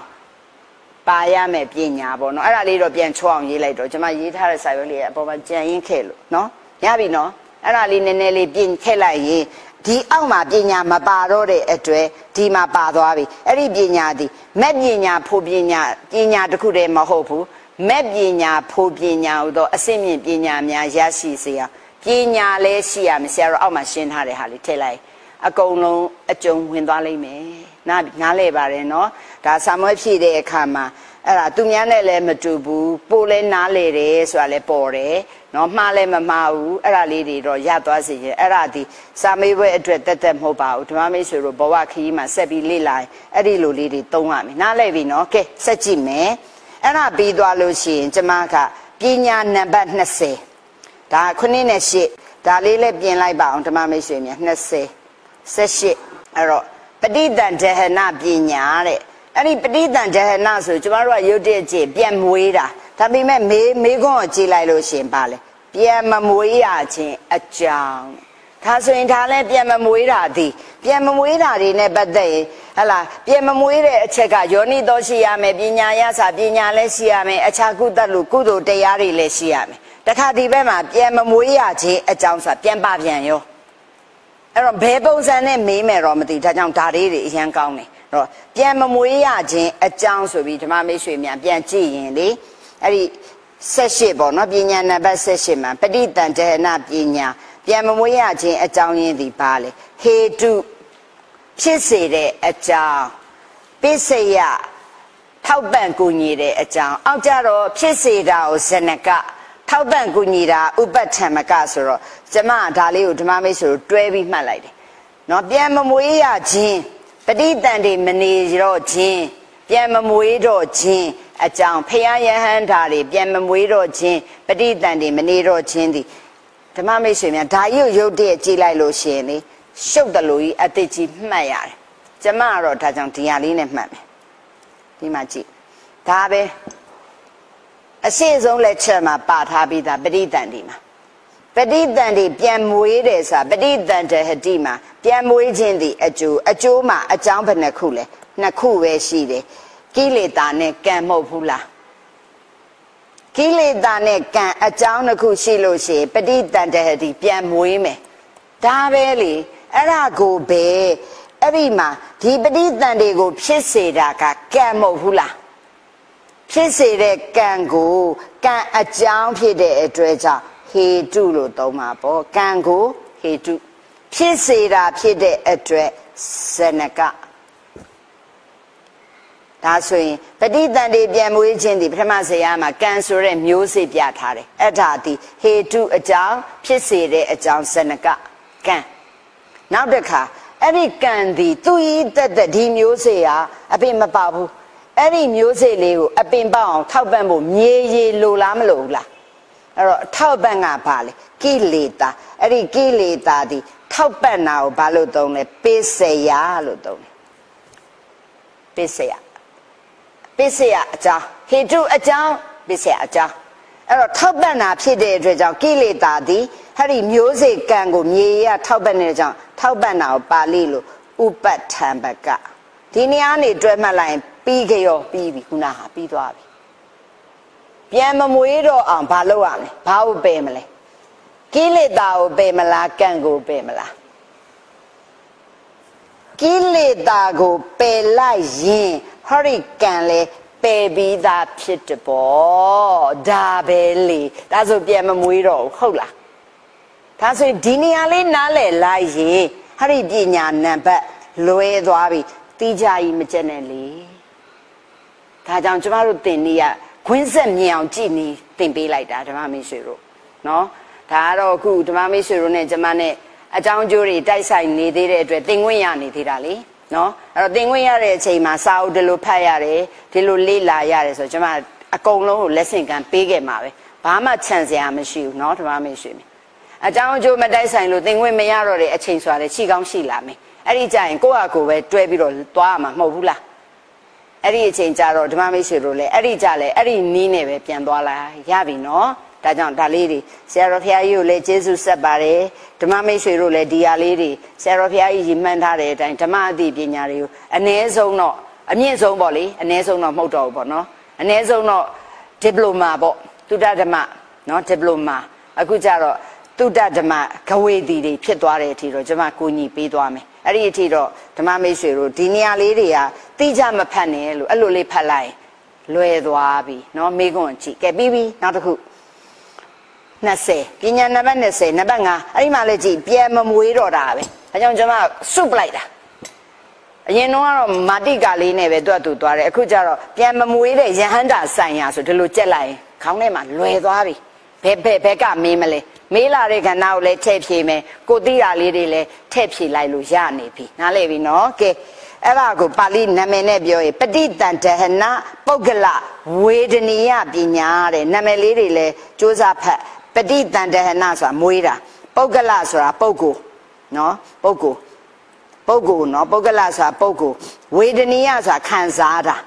ဒါဆိုရင်ဒီနေရာမှာပဋိသန္ဓနာပုဂ္ဂလဝေဒနီယဆိုကြောင့်ပြန်မမွေးတဲ့ဖရာယဟန္တာတွေတဲ့ခံစားရတဲ့ဝေဒနာဆိုင်ရာတွေကိုပြောမှာ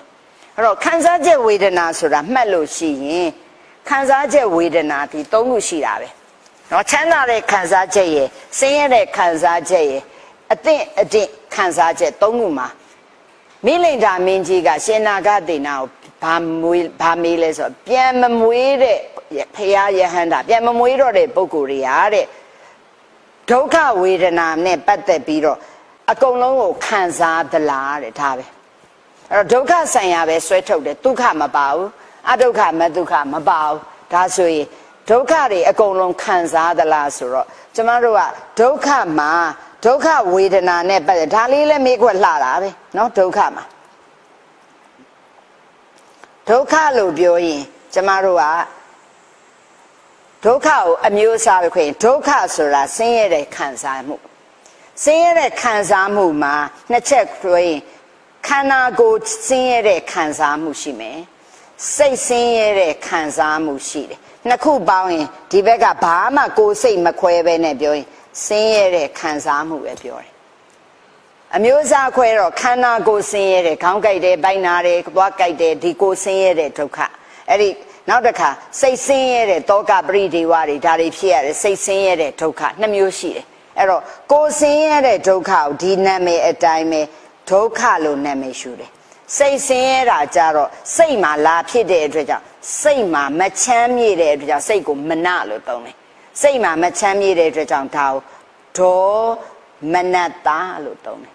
စိတ်ဆင်းရဲတဲ့ခံစားမှုဒီဟာကကိုယ်ဆင်းရဲတဲ့ခံစားမှုဒါကိုပဲဒီနေရာမှာကိုယ်ဆင်းရဲတာဖြစ်တဲ့အတွက်ကြောင့်ကိုယ်နေရာလေးမှာကျမတို့ကဘာထည့်လိုက်လဲကာယီကာကိုယ်၌ဖြစ်တဲ့ဆင်းရဲ စိတ်စိတ်၌ဖြစ်တဲ့ဆင်းရဲကြတော့စေတတိကာစေတတိကာဆိုတာစေတသိက်ကိုပြောတာမဟုတ်နော်စိတ်မှာဖြစ်တဲ့ခံစားမှုဒါကြောင့်စေတတိကဒုက္ခလို့သုံးတယ်ဒါကြောင့်ကာယိကဒုက္ခစေတတိကဒုက္ခကာယိကဒုက္ခကတော့ဒုက္ခပဲစေတတိကဒုက္ခဒေါမနတာပဲအဲ့တော့ကာယိကဒုက္ခဆိုတဲ့အတွက်ကြောင့် ဖယားပိစေကဗုဒ္ဓယဟန္တာပုထုဇဉ်သောတာပန်အကုန်လုံးနောက်ဆုံးငရဲတရစ္ဆာန်ပြိတ္တာအတရကေအကုန်ပါတယ်ကာယိကဒုက္ခဆိုတာတတ္တဝါတို့ရဲ့ကာယဆိုသောကိုယ်ခန္ဓာမှာတနည်းအားဖြင့်ပြောရင်ကာယဓွာရမှာကာယဓွာရမှာဘာလာရင်လဲဆိုရင်ကာယဓွာရသည်အတွေ့အာယုံကိုလက်ခံတယ်ဘာကိုလက်ခံလဲဖုဒ္ဓပါယုံကိုလက်ခံတာ အတွေ့အထိကိုခံစားမယ်ကာယဒွါရမှာဖုဒ္ဓဘာယုံကိုလက်ခံတဲ့နေရာမှာဖုဒ္ဓဘာယုံက၃ခုရှိမယ်ဖုဒ္ဓဘာယုံမှာ၃ခုကကောင်းမွန်ချမ်းသာတဲ့ခံဖုဒ္ဓဘာယုံအတွေ့အထိကိုအိဋ္ဌဖုဒ္ဓဘာယုံလို့သုံးမယ်မကောင်းတဲ့ဆင်းရဲတဲ့အတွေ့အထိကိုအနိဋ္ဌဖုဒ္ဓဘာယုံလို့သုံးမယ် ကောင်းတာလည်းမဟုတ်ဘူးဆင်းရဲတာလည်းမဟုတ်ဘူးအသင့်အတင်ကြတော့မစ္ဆတဖွတ်တပါယုံလို့သုံးတယ်အဲ့တော့ဖွတ်တပါယုံအတွေ့အထိ၃ပါးမှာတတ္တဝါအဲ့တော့မစ္ဆတကိုခဏဖယ်လိုက်တတ္တဝါတို့မှာအိဋ္ဌဖွတ်တပါယုံဆိုရဲနုညံ့နေတိမ်မွေးတယ်အိဋ္ဌဖွတ်တပါယုံဒီကာယဓာရမှာလာတယ်ဆိုလို့ရှိရင်ဘာဘာဘာစိတ်ဖြစ်လဲဆိုရင်ကောင်းမွန်တဲ့ကုသိုလ် အိဋ္ဌယုံနေလာတာကုသိုလ်ကြောင့်ဒါကြောင့်ကုသလကာယဒွါရနဲ့ဖွတ်တတ်ပါယုံလာလို့ရှိရင်ဒါလေးနည်းနည်းပြောမယ်ကာယဒွါရနဲ့ဖွတ်တတ်ပါယုံလာရင်ကျမတို့ကနော်ဒီမှာကာယေစဖွတ်တတ်ပေစနော်ပဋိစ္စဥပ္ပစ္စတိကာယဝိညာဏံဒီလိုတော့မယ်ကာယဝိညာဉ်ဆိုတဲ့ ठी သိစိတ်လာဖြစ်မယ် အဲ့ဒီကာယဝိညာဉ်ဆိုတဲ့ထိသိစိတ်တိဏ္ဏသင်္ကတိဖတ်တော့ပေါ့ကာယဝိညာဉ်ဆိုတဲ့ထိသိစိတ်ဖြစ်မယ်ကာယတော်နဲ့ဖုဒ္ဓဘာယုံလာတိုက်ရင်ကာယဝိညာဉ်ဖြစ်မယ်သို့တော့လာတိုက်တဲ့ဖုဒ္ဓဘာယုံသည်လာတိုက်တဲ့ဖုဒ္ဓဘာယုံသည်အိဋ္ဌဖြစ်ခဲ့မယ်ဆိုရင်ကောင်းတာဖြစ်တဲ့အတွက်ဒါကိုစာလို့ပြောရင်စာလို့ပြောရင်ကုသိုလ်ဖြစ်တဲ့ကုသိုလ်ရဲ့အကျိုးဖြစ်တဲ့အတွက်ကြောင့်ကုတလဝိဘေ ကာယဝိညာဉ်လို့သုံးတယ်တကယ်လို့ဒီနေရာမှာအနိဋ္ဌဖုဒ္ဓဘာယုံကြီးလာတိုက်မယ်ဆိုလို့ရှိရင်အနိဋ္ဌဖုဒ္ဓဘာယုံကြီးလာတိုက်မယ်ဆိုရင်ဒီမှာလဲကာယဝိညာဉ်ပဲဒါကြတော့အကုသိုလ်ဖြစ်တဲ့အတွက်အကုတလဝိဘေကာယဝိညာဉ်လို့သုံးတယ်ဒါဆိုရင်ကာယ द्वार မှာဖုဒ္ဓဘာယုံလာတိုက်ရင်ကာယဝိညာဉ်စိတ်တည်နှစ်မျိုးရှိနိုင်တယ် ကုသလဝိဘက်ကာယဝိညာဉ်ရဲ့အကုသလဝိဘက်ကာယဝိညာဉ်ကုသလဝိဘက်ကာယဝိညာဉ်ရဲ့ဝေဒနာသည်ဒုက္ခဆိုတဲ့ချမ်းသာသောခံစားမှုအကုသလဝိဘက်ကာယဓာရမှာအနိဋ္ဌဖုဒ္ဒဘာယုံနေဟလာဓာတွေဘာတွေနဲ့အခုတ်ခံရတယ်မိတွေအလောင်ခံရတယ်အစသည်ဖြင့်နော်လေဖြတ်သွားတယ်စသည်ဖြင့်ဆိုလို့ရှိရင်ဒါသည်အကုသို့အကျိုးဖြစ်တဲ့အတွေ့သူသည် ဒုက္ခတဟာကုကာယဝိညာဉ်လို့ဖြစ်တယ်။ဒါဆိုရင်ကာယဓာရမှာဖုဒ္ဓဘာယုံလာတဲ့အချိန်မှာတဲ့ဒုက္ခဝေဒနာကောင်းမွန်တာဆိုရင်ဒုက္ခဝေဒနာမကောင်းတာဆိုရင်ဒုက္ခဝေဒနာအခုရာသီဥတုတွေတအားအိုက်နေတယ်မိရလည်းပြက်တယ်ဆိုရင်ပူလောင်အိုက်ဆက်နေရင်ကျမတို့ရဲ့ကာယဓာရမှာဘာဖြစ်လဲအေးမလာဘူးအပူတွေရွေ့လာရင်ကျမတို့ဒုက္ခဝေဒနာပေါ့အဲ့ဒီဒုက္ခဝေဒနာဒီဘယ်သူခံစားရမလဲ အခုအချိန်မှာကျမလည်းခံစားရမယ်ကျမမိတ်ဆွေတို့လည်းခံစားခလေးလေးလည်းဒီတိုင်းပဲအိမ်မှာမွေးထားတဲ့ကြောင်လေးတွေလည်းပူလောင်နေတာပဲနော်ဆရာတော်ကြီးတွေလည်းဒီတိုင်းပဲဒါကြောင့်ကာယဆိုတဲ့ကိုယ်ကာယရှိနေသမျှအိဋ္ဌယုံအနိဋ္ဌယုံဘာလာလာအိဋ္ဌယုံလာရင်ဒုက္ခအနိဋ္ဌယုံလာလို့ရှိရင်ဒုက္ခဒီနှမျိုးပဲရှိမယ်တဲ့ဒါကြောင့်ကာယ द्वार ရှိတဲ့သူတိုင်းဒီ ဒီဒုက္ခဝေဒနာဒီအနိဋ္ဌယုံဆိုဒုက္ခလားဒီစေတသိကစိတ်ဆင်းရဲတဲ့ဒေါမနတကတော့ဘယ်မှာဖြစ်တာလဲဆိုရင်စိတ်မှာတော့ဖြစ်တယ်ဘယ်စိတ်မှာဖြစ်လဲဒေါသမှုစိတ်မှာဖြစ်တဲ့အတွက်တဲ့ဒေါသအရင်ခံသောဒေါသမှုစိတ်မှာဖြစ်တဲ့အတွက်ကြောင့်ဖယားယဟန္တာတွေဆိုတာဒေါသလောဘအစရှိတဲ့ကိလေသာတွေအမြင့်ပြတ်ပယ်သွားပြီးရင်တဲ့ ဒေါသဓမ္မမရှိရင်ဒေါသမူလရှိတဲ့စိတ်လည်းမရှိဒေါသမူလစိတ်မှမရှိဒေါမနတဆိုတဲ့စိတ်နှလုံးချမ်းမြေတာဘာမှမရှိရင်တဲ့ဒီနေရာမှာ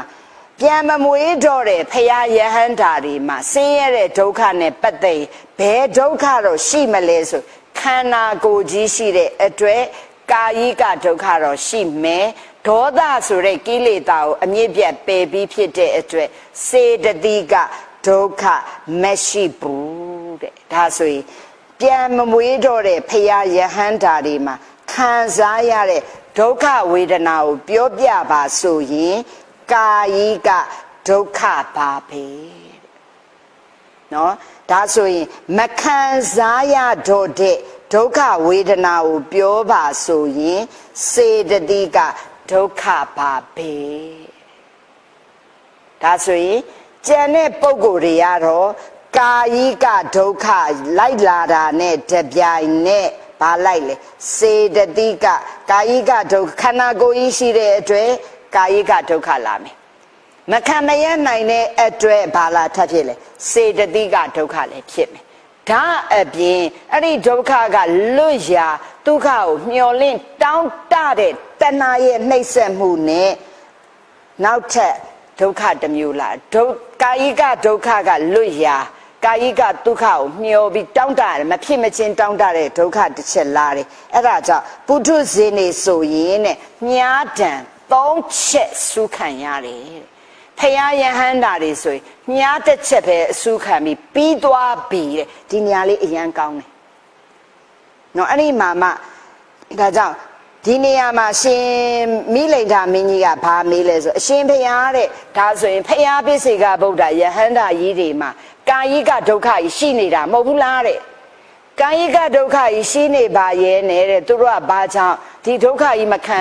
မြန်မြန်ပြိနိဗ္ဗာန်စံခြင်းစံစေခြင်းတာပေါ့ဘာလို့ပြိနိဗ္ဗာန်မဆန်တာလဲတဲ့ question တစ်ခုမေးတယ်ဒါကြောင့်အဘဲကြောင့်ဒီမှာရေးထားတယ်ကာယိကဒုက္ခဘေးနားမှာ အဘဲကြောင့်ပြိနိဗ္ဗာန်မဆန်ရတယ်လေတဲ့မိကွန်းထုတ်တယ်ဟုတ်လားအဲ့ဒီမှာတွေ့လားဓမ္မမိတ်ဆွေမြအဲ့တော့ဘာကြောင့်ပြိနိဗ္ဗာန်မဆန်ရတယ်လဲဆိုတော့အဲ့ဒီမှာသုံးချက်ပါထားတယ်ဟုတ်လားဟုတ်တော့ဟုတ်လားသုံးချက်လေဘာကြောင့်ပြိနိဗ္ဗာန်ဆန်လဲယဟန္တာကြီးတို့မိသည်နော်ဒီမိမိရဲ့ယုံ nant တဘာဝတွေသိပြီးတဲ့အတွက်ကြောင့်သေချိန်ရောက်မှပဲသေတာကိုလိုလိုလားတယ် သေအောင်လှုပ်เสียမရှိတော့ဘူးတရသည်အစိမ်းကိုညံညံမှဲ့အောင်အုပ်တဲ့အလုပ်မလုပ်ဘူးပုထုဇဉ်လေးဆိုတော့အစိမ်းတွေလည်းစားကျင်တာမှဲ့ဘရော့မှဲ့မလဲဘရော့မှဲ့မလဲဟုတ်တယ်လားမမဲ့ရင်ဘာလုပ်သေးလဲဥဖျက်ပြဖျားတင်မယ်ဆိုဖျားเจ้าဆောင်မှာသွားပြီးတော့တင်ထားမဲ့ရင်ခူးစားပြန်ပြီးတော့စွန့်ပြီးစားဟုတ်တယ်လားအဲ့ဒါဘာလဲဆိုအစိမ်းရရင်မှဲ့ကျင်တာ哦နော်အဲ့တော့ဖျားပစ္စေကဗုဒ္ဓယဟန္တာတွေက မှဲ့တာကိုမှဲ့အောင်မြန်မြန်မလုပ်သူ့အချိန်တန်သူ့အတူမှဲ့ပြီးကြွေသွားတာပဲလိုလားတယ်ဟုတ်တယ်လားဒါပဲအဲ့တော့အဲ့ဒီမှာဝန်ထမ်းတယောက်ဒီလာစာကိုမျောလင့်တယ်လို့ပဲခန္ဓာကိုယ်ကြီးဒုက္ခကုံဆုံးမှာကိုတော့မျောလင့်ပါတယ်ဆိုအဲ့မှာသုံးချက်မှတ်လိုက်ဒီကဏ္ဍလဲမေးလို့ကောင်းလားမကောင်းလားဒါဆိုရင်ဖယားပစ္စေကဗုဒ္ဓဆိုတဲ့ပဋိတန်တွေပြန်မမွေးတော့တဲ့ပုံကိုယ်တွေနဲ့ပတ်သက်ရင် ဒီမှာပြန်ကြည့်လိုက်ဒီစရာလေးပြန်ကြည့်ထေရပရိတန်တဟနာပရိတန်တဟနာပညာအရှင်ဘုရားကိုပြန်မွေးမာလားဆိုဥပါဒံရှိရင်ပြန်မွေးမယ်ဥပါဒံမရှိရင်ပြန်မမွေးဘူးဒီနေရာမှာသူဒီယဟန္တာဖြစ်ပါတယ်ပြန်မမွေးတော့ဘူးလို့မဖြေဘူးအလိုနဲတယ်အရိယာတို့ရဲ့စိတ်ထားအပိစ္ဆာဂုံသုံးမှာဒါလေးနဲ့မင်းဒါတစ်ချက်ပြီးရင်ဟလာပြန်မမွေးရခြင်းဒီယောနိသောမနတိကာရတစ်ချက်သေးကြောင့်မဟုတ်ဘူး နော်ပညာလည်းရှိရမယ်အခြားကုသိုလ်တရားတွေလည်းရှိရမယ်အခြားကုသိုလ်တရားတွေဒီဘာတွေလဲသီလအရဲ့ဘုံ၅ပါးရဲ့ပညာဖယ်လိုက်တတ္ထာဝရိယတတိတမာတိဟုတ်လားအဲဒါပဲတခါမှသတိပဋ္ဌာန်သုံးမှလည်းဒီတိုင်းပဲနော်မိခင်မှလည်းမိခင်ထဲမှာဗာပြန်ကြည့်လိုက်နောက်တစ်ခါပြန်မမွေးရခြင်းအကြောင်းကဘာလဲအဲ့ဒီပရိသန္တေကိုဖြစ်စေတဲ့ဟေတုဆိုတဲ့ဇနကဆိုတဲ့ကံအကြောင်းရယ် နောက်တစ်ခါပစ္စယဆိုတဲ့နော်ဥပဋ္ဌမကထောက်ပံ့နဲ့နော်ကိလေသာအကြောင်းရယ်အဲ့ဒီကိလေသာနဲ့ကံနှစ်ခုစလုံးပယ်သွားတဲ့သူဒီပြန်မမွေးတော့ဘူးပြီးပြီဟုတ်တယ်လားဒီမြန်ပြီတစ်ချက်နောက်တစ်ခါပြန်မမွေးတဲ့ဖရာယဟန္တာတို့ဒီဘယ်ဒုက္ခဝေဒနာခံစားရတယ်လဲဒုက္ခမှန်တဲ့၍အကုန်မခံစားဘူးခံစားရတဲ့ဒုက္ခမခံစားရတဲ့ဒုက္ခမြားတန်နဲ့ပြောရင်အဲ့ဒီကိစ္စပြီးသွားပြီဆိုဒီထဲကတပုတ်တော့လာမှာပဲဓမ္မမိတ်ဆွေများ ပြန်မမွေးခြင်းဆိုင်ရာပြောတာနားလည်ပြီနော်ကဲကျမတို့အတွက်ကြည့်မယ်ပြန်မွေးခြင်းနေလာပြီပြန်မွေးတဲ့ပုံကိုယ်တွေကိုဒီမှာကြရင်ကျမတို့နံပါတ်ပါနံပါတ်6ဖြစ်သွားပြီဓမ္မတန်တတိပညာဆိုပြီးတော့အဲ့ဒါကိုရှေ့ကိုတင်လိုက်တယ်နော်ဓမ္မတန်တတိပညာမှာကိလေသာမကင်းပြန်မွေးတဲ့သူရဲ့ဓမ္မဆိုတာဓမ္မဆိုတာတရားတန်တတိဆိုတာဖြစ်စဉ်ခေါင်းစဉ်လည်းနားလည်ရတယ် ကိလေသာဓမ္မတန်တတိပညာသည်ကျမတို့ပြန်မွေးမဲ့သူတွေရဲ့ဖြစ်စဉ်ပဲဓမ္မတဘာဝဖြစ်စဉ်လေးတွေပဲဒါဆိုကျမတို့ရဲ့ဖြစ်စဉ်ဒီပါလေသေပြီးနောက်ပြန်မွေးတဲ့သူဒီသေသူလည်းမဟုတ်သေထားတဲ့သူသေပြီးရင်ပြန်မွေးမယ်ပြန်မွေးသောသူဒီသေသူမဟုတ်သေသူမဟုတ်ဆိုရင်နစသော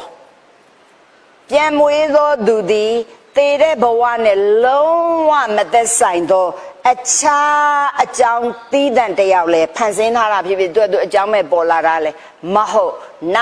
စအညောဒါဆိုရင်ဘာဖြစ်လဲဒီပြန်မွေးသောသူဒီဒီဘက်ကသေခဲ့တဲ့သူပြုတ်ခဲ့သောကိလေသာခြံရံသောအရင်ခံသောကံတရားတွေကြောင့်သာလျှင်ဒီဘက်မှာပြန်မွေးခြင်းဖြစ်တယ်ပြန်မွေးတဲ့နေရာမှာလေလူဘဝရဲ့ဖြစ်စဉ်ဆိုပြီးတော့ ဘာလေးပြလဲဆိုကျွန်မဒီမှာရေးဖို့ကြံရင်ခဲ့တယ်ဒါလေးနဲ့ဖြည့်ပါလူဘဝအစဖြစ်စဉ်မှာလက်သေးခွင်းလေးနဲ့ကလလဆိုပြီးတော့မြားလေးထိုးပြီးတော့ခွင်းလေးပိတ်ခဲ့လိုက်ဒီမှာမဆိုကလလရေကြီးလေးနဲ့လူဘဝအစဖြစ်စဉ်ဟုတ်သလားကျမတို့ဓမ္မမိတ်ဆွေတို့လူဘဝရဲ့ပြန်ဖြစ်စဉ်ဒီဘာအစတာရုပ်ဖြစ်စဉ်မှာကလလရေကြီးလေးကနေစတယ်မဟုတ်လားကလလရေကြီး9ရက်အမြုပ်9ရက်အဲဆိုင်သားတွေဆိုင်ခဲ9အဲ့ဒါလေးနဲ့သွားမယ် ကဲအဲ့ဒါလေးကိုပဲဥပမာလေးနဲ့ပေးပါဆိုစီမီတောက်ကလေးညစ်ရီပြီးရင်နို့ကနေပြီးတော့ထောပတ်အစင်တီဖြစ်သွားမှာနို့နှစ်ရက်တရက်နှစ်ရက်ထားလိုက်ရင်ဒိင်းချင်းဒိင်းချင်းကိုချက်လိုက်လို့ရှိရင်စီယူစသည်ဖြင့်စီယူချက်လိုက်ရင်ထောပတ်ဟလားအဲအဲ့ဒါအဲ့ဒါရပြီနော်ကဲအဲ့ဒါလေးပြန်ချက်အတူပဲပြီးရင်အဲ့ဒါလူဘဝဖြစ်စဉ်ရဲ့အဲ့ဒါလေးတွေပြီးရင်ကျမဒါလေးတွေကိုလေဟို line လေးတွေပိတ်တယ်ဟိုဟာဟိုဟာတော့ကတော့ကျမပိတ်မပေးလိုက်ဘူးရိုက်တော့လေ ဓမ္မမိတ်ဆွေတို့ဒါလေးကွက်ကိုပတ်ပေါ့ပြန်မွေးသူရဲ့ဓမ္မတဘာဝဖြစ်စဉ်သေပြီးနောက်ပြန်မွေးသူသည်ထိုပေသေပြီးသူမဟုတ်နတ်စာတော်လိုင်းလေးတစ်ချက်ပိတ်လိုက်ပြီးရင်နောက်သေးကြလည်းမဟုတ်နတ်စာအင်ညွပိတ်လိုက်ပြီးတော့မှလူဘဝဖြစ်စဉ်ဆိုကလလရေကြီးလေးတဲ့ပြောမယ်အဲ့မှာဥပမာ၃ချက်ပြီးတခါလိုင်းလေးပိတ်လိုက်ပြီးဓမ္မဖြစ်စဉ်ကိုပြောပါဆိုရင် ဓမ္မဖြစ်စဉ်နေမှာရှေ့တစ်ခုကချုပ်ပြီးတော့နောက်တစ်ခုကဖြစ်တယ်တဲ့ရှေ့နောက်အဆက်ဆက်မိတယ်တဲ့သေသူလည်းမဟုတ်တဲ့တီးကြသူလည်းမဟုတ်ရှေ့ကိုအမိပြုပြီးနောက်ကဖြစ်ရဆိုဒီတိုင်းချီ6ချက်ရှိတယ်အဲ့ဒါလေးကိုလေဓမ္မမိတ်ဆွေများကျမဒါလေးနည်းနည်းပြောပြခြင်းလို့နော်ဓမ္မတဘာဝပြန်မွေးတာကြောင့်ပြောမှာမဟုတ်ဘူးလားပြန်မွေးတယ်ဆိုတာဘာပြောတာပါဠိလိုပြောပြန်မွေးတယ်ဆိုတာပဋိတန်တီကိုပြောတာမဟုတ်ဘူးလားကဲ ပဋိတန်လေးပြောမယ်နော်စာချက်နီးစာချက်နီးဒီစာလေးကိုဖတ်ဖို့ပြန်ဝေးတယ်ဆိုတာပဋိတန်လေးနေတာဟုတ်လားဟုတ်လားယင်ပဋိတန်လေးစိတ်ပေါ့ပဋိတန်လေးစိတ်ဘဘယ်မှာဖြစ်တာဘဝဟောင်းလားဘဝတစ်လားဘဝတစ်ပဋိသန္ဓေစိတ်ဖြစ်ဖို့ဘာဖြစ်ရလဲဘဝဟောင်းမှာတည်ခဲ့ရမှာ ဘဝဟောင်းရဲ့နောက်ဆုံးစိတ်ဒီပါလေသုတိစိတ်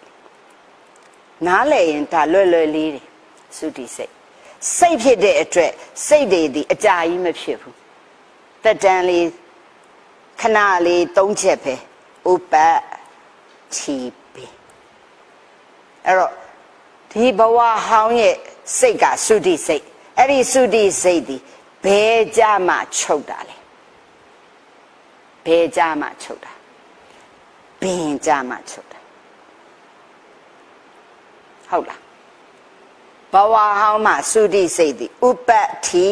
ဘေးဆိုပြီးတော့ချုပ်တယ်ချုပ်သွားတာနဲ့ဘာဖြစ်လဲဘယ်နှရက်ချားလဲ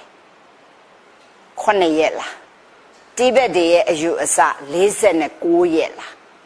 နောက် body တခုကိုစောင့်တယ်လားမစောင့်တော့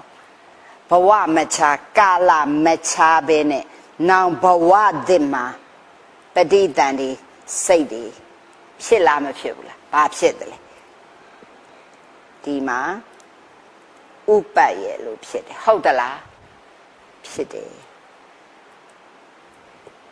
ဖြစ်တယ်ဆိုရင်ဟာဒီပဋိသန္ဓေစိတ်ကြီးတက်တက်ဖြစ်တာမဟုတ်ဘူးစိတ်နဲ့တွဲပြီးတော့စေတသိက်တွေလည်းပါမှာပဲ ပြီးရင်ကျမတို့လူတွေဆိုလို့ရှိရင်ပဋိသန္ဓေစိတ်စေတသိက်ကိုမှီပြီးတော့မှကျမတို့ကဒီမှာကလလိုက်စီအစာရှိတဲ့ကမ္မဇရုပ်တို့ဒီလေအဲ့ဒီမှာပဲဖြစ်တာဟုတ်ဘူးလားဒါပဲဒါဆိုရင်ဒီစာလေးနားလေပြီဒါဆိုရင်ဓမ္မဖြစ်စဉ်ကိုကြည့်ရင်ရှေ့တစ်ခုချုပ်တယ်တဲ့ရှေ့တစ်ခုချုပ်တယ်ဆိုတာဘာကိုပြောတာသုတိစိတ်ရဲ့ ပင်ချုပ်သွားပြီတဲ့နောက်တစ်ခုကဖြစ်တယ်တဲ့နောက်တစ်ခု means ပဋိသန္ဓေစိတ်ရဲ့ဥပတ်ဖြစ်တယ်ကျမမရေးပေးလိုက်တာဓမ္မမိတ်ဆွေတို့အဲ့လိုရှင်းပြခြင်းလို့ရှေ့တစ်ခုချုပ်တယ်နောက်တစ်ခုဖြစ်တယ်ပြီးရှေ့နဲ့နောက်သည်ဂျားမှာချားလာမချောက်ဆက်တိုက်ကလေးဆက်ဆက်ပြီးတော့ဖြစ်တယ် နော်ဟုတ်လားတခုချုပ်လိုက်တာနဲ့တခုဖြစ်တယ်ဂျားမှာမချားတဲ့အတွက်ဗာရေးထားတယ်ရှေ့နောက်အဆက်မပြတ်ဆက်ဆက်မိပါတဲ့တဲ့ဟုတ်ရဲ့လားရှင်ပြီးရင်ဗာရေးထားလေအဲ့ဒီပဋိသန္ဓေစိတ်နဲ့ဘဝအသစ်မှာကမ္မဇယုတ်တွေဖြစ်တဲ့နေရာမှာတဲ့အဲ့ဒီပုံကိုဒီဒီဘက်ကသေခဲ့တဲ့သူလဲမဟုတ်ဘူးတဲ့သေသားတဲ့သေတဲ့ဘဝတုန်းက ဘဝဟောင်းမှဘဝဟောင်းမှလူလဲသူလဲမဟုတ်ဘူးဒါကြောင့်ဒီလူလဲဒီမှာလာဖြစ်တော်သူဒီဘဝဟောင်းကလူလဲမဟုတ်သောထိုလူလာဖြစ်ခြင်းမဟုတ်ဟုတ်ပြီနော်ဒီလူလာဖြစ်တာမဟုတ် ဒါဆိုရင်ဒီဘက်ဘဝနဲ့လုံးဝမသက်ဆိုင်သောအခြားတစိမ့်ဖန်ဆင်းထားတဲ့လူတယောက်လည်းမဟုတ်ဘူးနာစအညောဒါဆိုရင်ဒီဘက်ဘဝမှာလာဖြစ်သောဒီလူကြီးသည်ဒီဘက်ကဒီလူကြီးသည်เนาะဒီဘက်ဘဝမှာလာဖြစ်သောသူသည်เนาะ ဘယ်သူလဲဆိုဒီကအကြောင်းမကင်းလို့ဒီဘက်မှာလာဖြစ်တာဒါပဲဒါဆိုရင်ဒီစာလေးနားလည်မယ်တွေ့လားသေသူလည်းမဟုတ်ตีကြလည်းမဟုတ်ရှေ့ကို အမိပြုတ်ပြီးတော့ရှေ့ကဘာတွေပါမလဲကိလေသာတွေအရင်ခံထားသောကံအကြောင်းကြောင့်ဒီလူဒီလူဒီလူလောက်ထားတဲ့ကိလေသာအ ခြေခံထားတဲ့ကံအကြောင်းကြောင့်ဒီဖြစ်လာရသောသူလည်းဖြစ်တယ်ဒါပဲအဲ့ဒါဓမ္မတန်တတိဓမ္မဖြစ်စဉ်တဘာဝဖြစ်စဉ်ပါကြက်လို့ရသလားအဲ့ဒါလေးလေမေးခြင်းတဲ့မေးမပေါ်ဓမ္မမိတ်ဆွေများအဲ့ဒီအခြေခံအချက်ကိုမှတ်ပြီးတော့မှကျမတို့ကဒီကြံတဲ့ဟလာပညာနံပါတ်တွေစက်ကြည့် အဲ့ဒါပြန်မွေးတဲ့သူတွေနဲ့ဆိုင်နာကြီးပဲသွားတော့မယ်ဒါကြောင့်ပြန်မွေးတယ်ပြန်မွေးတယ်နော်ဒီမှာလဲပြန်မွေးတယ်ပြန်မွေးတယ်ပဲစက်ကြည့်သွားမယ်ဒါကြောင့်ကျွန်မအဲ့လို group တွေလုတ်ပေးလိုက်တာနားလဲပြီနော်အဲ့ဒါမှမြင်ရမှာအဲ့တော့နာမည်ကိုကြည့်ပြန်မွေးတဲ့နေရာမှာတဲ့ခေါင်းစဉ်ကိုကြည့်နာပြန်မွေးတာကပဋိသန္တဟနပြန်မွေးတဲ့နေရာမှာဘာရှိထားလဲနာမ ရူပါတဲ့ဒါကြောင့်ပြန်မွေးရာ၌ဒီလိုလေးမယ်ပြန်မွေးတာကပဋိသန္တဟနဒါကြောင့်ပြန်မွေးရာ၌နာမရူပါလို့ပြောတဲ့အတွက်နာယုတ်နှမျိုးစလုံးပြန်မွေးရတာဘာကြောင့်လဲတဲ့အဲ့တော့ဓမ္မမိတ်ဆွေတို့အဲ့ဒီလက်ချုပ်တနေ့ကလေးကျွန်မပြီးသွားပြီကျမတို့ကကြည့်ရင်30နဲ့တပုံမှာလေကျမခဏခဏပြောတယ်မေ့အသွားမှာဆိုလို့စာချက်ပေးတာ30နဲ့တပုံမှာ ကျမတို့ကျင်လေကြရတဲ့နေရာမှာကျမတို့လဲတဲ့ဘဝကိုကြည့်အာကုသိုလ်တွေလုပ်ရင်အပယ်လေးပုံကိုယ့်ကိုမှန်းကြည့်ဟုတ်တယ်လားကုသိုလ်တွေလုပ်လိုက်လို့ရှိရင်ဘာတွေလာလဲလူနဲ့ဆိုတဲ့ကာမတုဂတိခုနှစ်ပုံဟုတ်လားဇံကုသိုလ်တွေလှုပ်လိုက်လို့ရှိရင်ဇံကုသိုလ်တွေလှုပ်လို့ရှိရင်ဗြမဘုံ ဘဝများစွာတန်တရားမှာလေကျမတို့စဉ်းစားကြည့်ရအာကုသိုလ်လှုပ်တာရဲ့ဒါနသီလဘာဝနာဆိုတဲ့ဒါတီပေါ့ဇန်နေမရသေးတဲ့တမထမက်ဖို့မရသေးတဲ့ဒါတီပါဆိုတဲ့ကာမကုသိုလ်ပြီးရင်ဇန်ကုသိုလ်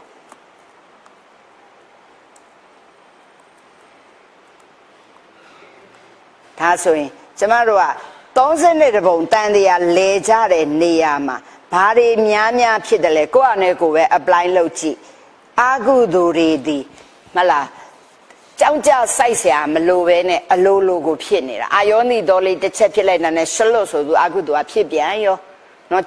အမလီအားခဲเสียတော့မလို့ထိုင်နေပြီးတော့နှလုံးသွင်းလေးမှားလိုက်တယ်မဲလေးဒီလူဝစ်တာစားတာဘာဝစ်ထားမလဲကျတနေ့တနေ့သူကြည့်ရတာကျမျက်မှန်ကြီးပဲထူးထူလာတာနေရင်ထားရကြည့်ဘာမှမဟုတ်နှလုံးသွင်းမှားလိုက်တာနဲ့အာကုသိုလ်ဆိုတာဒါရိုက်ဟိပဲလာတော့တာပဲဟုတ်တယ်လားအဲအဲ့ဒါကြောင့်အကုသိုလ်ဖြစ်တာလွယ်တယ်ကုသိုလ်ကြရင်တော့တတိထားပြီးလှုပ်တာတော့တတိမထားရင်ကြွားဝါပြီးပြုမဲ့ဒါန ကြွားဝါပြီးစောက်တည်မဲ့သီလကြွားဝါပြီးလှုပ်ခြင်းနဲ့ဘာဝနာဒါတွေရှိမှာဉာဏ်နဲ့ရှင်းမှဒါတည်ပါရှိမှာကဲဇံကုသိုလ်ဖြစ်ဖို့ဆိုတာပိုခဲရင်လားမခဲရင်ဘူးလားဒါဆိုရင်တနေ့တနေ့မှာကျမတို့ကဘာများလဲလို့ကြည့်ဒီမှာကုသိုလ်နည်းနည်းနဲ့အကုသိုလ်ကခံများများဆိုဘယ်သွားတာများလဲအပေပုံသွားတာများတယ်လူနဲ့နတ်ဖြစ်ဖို့ခဲရင်တယ်ဒီတဲ့ခဲရင်တာ ဗြဟ္မာဖြစ်ဖို့ခဲရင်တယ်ဗြဟ္မာမှာလေရုပ်နံကြီးတက်တက်ရှိတဲ့အရူပဇံရဖို့ဆိုတာပိုခဲရင်တယ်ဟုတ်တယ်လားရုပ်ကောရုပ်တက်တက်ဆိုတဲ့နော်အတင်ညသက်ဗြဟ္မာဖြစ်ဖို့ဆိုတာလေပြင်းစမစံမှာနံပြောက်ဖို့ဆိုတာခဲရင်တယ်တခါရုပ်ကောနံရောရှိတဲ့နော်ရူပဇံရူပဗြဟ္မာဖြစ်ဖို့ဆိုတာလေခဲရင်တယ်ဆိုတော့ 30ပုံလဲတဲ့နေရာမှာဘယ်ဘဝသည်ကျမတို့အများဆုံးဖြစ်မလဲတွေးကြည့်တေချာတွေးကြည့်ဘယ်ဘဝသည်များလဲဆိုရင်ကာမ7ပုံသည်အများဆုံးပဲကာမ7ပုံမှာကျမတို့ရဲ့မူရင်းအိမ်ဒီပါလေအပယ်လေးပုံပဲဒါလူဘဝနတ်ဘဝဆိုတာခဲခဲရင်ရတယ်ဆိုတော့အပယ်လေးပုံသားသည်ရုပ်နဲ့နံဘယ်ဟာရှိလဲ ရုပ်နဲ့နံမှာရုပ်လည်းရှိတယ်နံလည်းရှိတယ်လူဖြစ်တာဒီလဲရုပ်လည်းရှိတယ်နံလည်းရှိတယ်ဒါလေးအကြောင်းပြောခြင်းလို့ချီးလာနတ်ဖြစ်ရင်လည်းရုပ်ရှိတယ်နံရှိတယ်ဗျမမှာကြတော့ရုပ်တက်တက်နံတက်တက်ကခဲရင်နဲ့အစစ်မြင့်နဲ့ပြင်းစမစံကြီးပဲရုပ်ကောနံရောရှိတဲ့ဗျမဆိုတာပထမဇံဗျမဒုတိယဇံဗျမတတိယဇံဗျမရုပ်တက်တက်ဗျမကပြင်းစမစံ နံသက်သက်ပြမလည်းပြင်းစမဆန်ဆိုဒီဟာဖြစ်ဖို့တောင်ပိုခဲရင်တယ်ရုပ်နံရှိတဲ့ဘဝလည်းပြမဖြစ်ဖို့ကလည်းခဲရင်တော့များသောအားဖြင့်ကျမတို့ဒီတတ္တဝါတွေဖြစ်ရတာပြန်ပြီးမွေးရတာဘာကြီးပဲလေရုပ်ရောနာရောဖြစ်တဲ့အတွက်အဲ့ဒီလိုလေးမှတ်လိုက်မိလိန်တာမင်းကြီးရဲ့မိကွန်ကြပြီ ပြန်မွေးတဲ့နေရာမှာတဲ့ရုပ်ကြီးတက်တက်မမွေးဘူးလားနာကြီးတက်တက်မမွေးဘူးလားဘာကြောင့်ရုပ်နာနှစ်မျိုးစလုံးမွေးရတာလေသူမိကွန်ရုပ်ကြီးတက်တက်မမွေးဘူးလားနာကြီးတက်တက်မမွေးဘူးလားရုပ်နဲ့နာနှစ်ပါးလုံးဘာကြောင့်မွေးရလဲဆိုဖြည့်ရတဲ့ပဋိသန္ဓေနေတာတွေဒီရုပ်နာနှစ်မျိုးစလုံးနေတဲ့ဘဝကများတယ်ဟုတ်ဘူးလားလို့ ဒါဆိုရင်မွေးရခြင်းအကြောင်းရင်းကဘာလဲအဖြေရကြည့်ရုပ်နဲ့နာသည်အချင်းချင်းအပြန်အလှန်မှီပြီးဖြစ်ပါတယ်ကျမတို့ပေးထားတယ်ရုပ်နာကရုပ်ကိုမှီတယ်ရုပ်ကနာကိုမှီတယ်အပြန်အလှန်မှီပြီးလို့ရှင်အပြန်အလှန်ပူးပေါင်းပြီးတော့ဖြစ်ကြရပါတယ်ဒါကြောင့်သေဆုံးသွားပြီးဟဲ့ဒီလိုသေဆုံးသွားပြီး နောက်ဘဝမှာလဲသေဆုံးတဲ့ဘဝတုန်းကလည်းဘာများလဲနာနဲ့ရုပ်ပဲဒါကြောင့်သေဆုံးပြီးနောက်ဘဝကြတော့လဲဘာနဲ့လာလဲနာနဲ့ရုပ်ပဲဒါပဲသူ့ရဲ့မိကွန်းကအဖြေလေးကဒါလေးပဲဒါကြောင့်နော်သေဆုံးပြီးနောက်ဘဝ၌လဲနာယုတ်နှစ်ပုပေါင်းပြီးတော့မွေးဖွားရခြင်းဖြစ်ပါတယ်ဥပမာလေးပြောပါအိုးဩဗမန်ဟလား ဥပမာလေးပြောပြပါအောင်ဆိုတော့ဘာပေးလဲကျက်မနဲ့ကျက်ဥတဲ့ဟုတ်ကလားကျက်မဒီကျက်ဥဥတယ်ကျက်ဥထဲမှာဘာရှိသလဲအနှစ်လည်းရှိတယ်အရေးကြီးလေးလည်းရှိတယ်ဟုတ်လားအနှစ်အရေးကြီးသည်ကလလရေးကြီးသဘောကတိုးတက်လာမှနောက်ဆုံးဟလာဥကွန်ထဲမှာဥကွန်ထဲပြောင်းသွားမယ်ဥကွန်ထဲပြောင်းပြီးတော့မှအဲ့ဒီမှာတရေသားထပ်ပေါက်ရမှာဖြစ်တဲ့အတွက်ကြောင့်ကျက်မအတွက်ကျက်ဥအရေးကြီးတယ်ကျက်ဥမှာလည်း အရေးကြီးလေးရဲ့အနှစ်ကလေးရဲ့အလိုအပ်တယ်အရေးကြီးတဲ့အနှစ်ဒီဘယ်အောင်မှီရလဲကျက်ဥခွန်ထဲမှာမှီရတယ်ကျက်ဥခွန်ကလည်းဘာရှိဖို့လိုလဲကျက်ကလေးပေါက်ဖို့အရေးနဲ့အနှစ်ကလေးလိုပါတယ်အဲ့ဒီလိုနော်ရုပ်နဲ့နံကျက်မနဲ့ကျက်ဥကျက်ဥနဲ့ကျက်ဥခွန်တွေက အနှစ်အရေးတို့သည်အပြန်လန်မှီပြီးတော့မှတခုတည်း ပေါင်းပြီးတော့မှကြက်အကောင်လေးကြက်မကနေဥလိုက်တယ်ဥကနေတဆင်ကြက်ကောင်လေးပေါက်ပါမယ်ဒါလေးဥပမာပေးလိုက်တယ်ဟုတ်ပြီနော်ပြန်ဖတ်လိုက်တော့ရပြီနော်အဲ့တော့ဒီဟာလေးကြည့်လိုက်ရင်ကိုမေသူတို့မေးတာဘာမေးလဲဆိုတာဒီကဲနောက်တစ်ခုကြည့်ရင်ကျမက24ဆိုတဲ့ရူနာမရူပပရိသန္တဟနာကိုခုနှစ်မှာတင်ရေးလိုက်တယ်တင်ကြည့်ခိုင်းလိုက်တယ်ပြီးတော့မှနံပါတ်8ကနာမရူပနော်အင်း ဧကထနာနတ္တပညာဆိုပြီးမွေးတယ်နာမရူပနာနဲ့ယုတ်တို့သည်နော်သေပြီးနောက်ဘဝပြန်မေးတာမှာသေပြီးတဲ့သေပြီးတဲ့ဘဝမှာလည်းဘာရှိလဲနာယုတ်နောက်ဘဝပြန်မွေးတဲ့နေရာမှာလည်းဘာရှိလဲနာယုတ်အဲ့တော့သေပြီးဘဝနာယုတ်သည်နောက်ပြန်မွေးတဲ့နာယုတ်တခုတည်းလားမဟုတ်ဘူးလေနဆာတော်လေ သေပြီးတဲ့သူသည်နော်ဒီနေရာမှာဟုတ်လားသေတော်သူသည်သေသွားသောနံယုတ်သည်သူသည်ဒီပဋိသန္ဓေတဲ့နေရာမှာနံယုတ်ဆိုရင်ဒီနံယုတ်သည်အတူတူပဲလားမတူဒါသည်နဆာတော်လေဒီသူမဟုတ်ဘူးဒါကြောင့်သေတဲ့သူရဲ့နံယုတ်သည်ဒီဘဝမှာလာတဲ့နံယုတ်ပဋိသန္ဓေတစ်ခုတည်းမဟုတ်ပါတစ်ခုတည်းမဟုတ်တဲ့ကြောင့်ဧကတ္တာမဟုတ်ပါဒါဆိုရင်သေပြီးတဲ့ဘဝနာယုတ်နဲ့သေပြီးတဲ့နာယုတ်ကသေခဲ့တဲ့သုတိဘဝကနာယုတ်ပုဂ္ဂိုလ်တကယ်ကနာယုတ်ကကံနေပြုတ်လိုက်တယ်ဟုတ်လားအဲ့ဒီပုဂ္ဂိုလ်ကကံပြုတ်လိုက်တယ်ဘဲကံလဲကိလေသာအခြေခံတဲ့ကံမရေးတော့ဘူးပေါ့နော်ကံပြုတ်လိုက်တယ်အဲ့ဒီကံအစွမ်းမှာကုသိုလ်ကံရှိမယ်အာဟုလိုကံရှိမယ်ကံအစွမ်းကြောင့်နောက်ဘဝဖြစ်လာတဲ့နာယုတ်ကဘာဖြစ်လဲကံရဲ့အစွမ်းက ဖြစ်လာတဲ့နာယုတ်ဖြစ်တဲ့အတွက်ကြောင့်သူကတီးကြဟုတ်ပါတယ်နာနတ္တာတီးကြပါဧကတ္တမဟုတ်ဘူးနာနတ္ထတီးကြပါပဲဒါကြောင့်ရှေးဘဝနံယုတ်နဲ့ပြုခဲ့တဲ့အကုကံကြောင့်သူကမိလိန်တာမင်းကြီးကကံနေမှာမှသူကမေးတယ်ရှေးဘဝလူရတဲ့အကုသိုလ်ကံလုပ်ခဲ့မယ်တဲ့နောက်ဘဝမှာအဲ့ဒီလူကသွားဖြစ်တာလည်းမဟုတ်ဘူးဆိုရင်တဲ့အဲ့ဒီအကုသိုလ်ကံကလွတ်မသွားမလားဆိုတော့ နော်ရှေးဘဝကနံယုတ်ကပုဂ္ဂိုလ်ကအကုသိုလ်လုပ်ခဲ့တယ်နောင်နံယုံနဲ့မဆက်မိဘူးတီးကြပဲသေပြီးပြတ်သွားတယ်ဆိုရင်တော့ဟာလာအကုသိုလ်ကံကလွတ်မှာပေါ့ဒါပေမဲ့သေတဲ့သူဘဝမှာလှုပ်ခဲ့တဲ့အကုသိုလ်ကံရဲ့အကြောင်းကြောင့်နောင်ပฏิတန်တွေနံယုတ်ကဖြစ်ရတာဖြစ်တဲ့အတွက်ကြောင့်ဒီလူသွားဖြစ်တာမဟုတ်ဘူးနော်ဒီအကြောင်းကြောင့်ဖြစ်လာတာဖြစ်တဲ့ကြောင့်အဲ့ဒီဖြစ်တော်သူသည် အကုသိုလ်ကံကမလွတ်နိုင်ပါဥပမာပေးပြပါအောင်နားမလဲပါဘူးဆိုတော့ဘာပြောလဲတရက်ပင်ဟလာလူတယောက်တည်သီးစားတယ်စားပြီးတော့အစီကိုစိုက်လိုက်တယ်အဲ့ဒီစီကနေအပင်ပေါက်တယ်အပင်ကနေပြီးအသီးသီးတယ်အဲ့ဒီအသီးကိုတခြားတယောက်ကခိုးတယ်ခိုးတဲ့အခါမှာဒီတရက်ပင်ပိုင်ရှင်ကတည်သီးခိုးပါတယ်လို့ပြောတယ်မဟုတ်ဘူးနင်းစိုက်တဲ့တရက်သီးကတသက်အစီကတသက်ငါဟာတသက်ဆိုတော့အဲ့လိုပြောလားဆိုမဟုတ်ဘူးအစင်အဆက်အနေနဲ့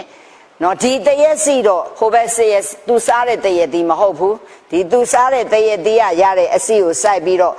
အပင်ပေါက်လာတဲ့အသီးကိုသူစားတာဒါဆိုရင်ဒီဘက်ကအကြောင်းလဲမကင်းတတ်ဘူးအဲ့ဒါကြောင့်အဲ့ဒါလေးဒီဧကတ္တနာနတ္တပဲเนาะအဲ့ဒါနဲ့တွဲရဲ့ဘာကြည့်လဲဆိုရင်ကျမကဒီမှာเนาะ22ကိုကျမတွဲပြီးတော့ဒီမှာ56ကိုကျမကြည့်ခိုင်းလိုက်တယ်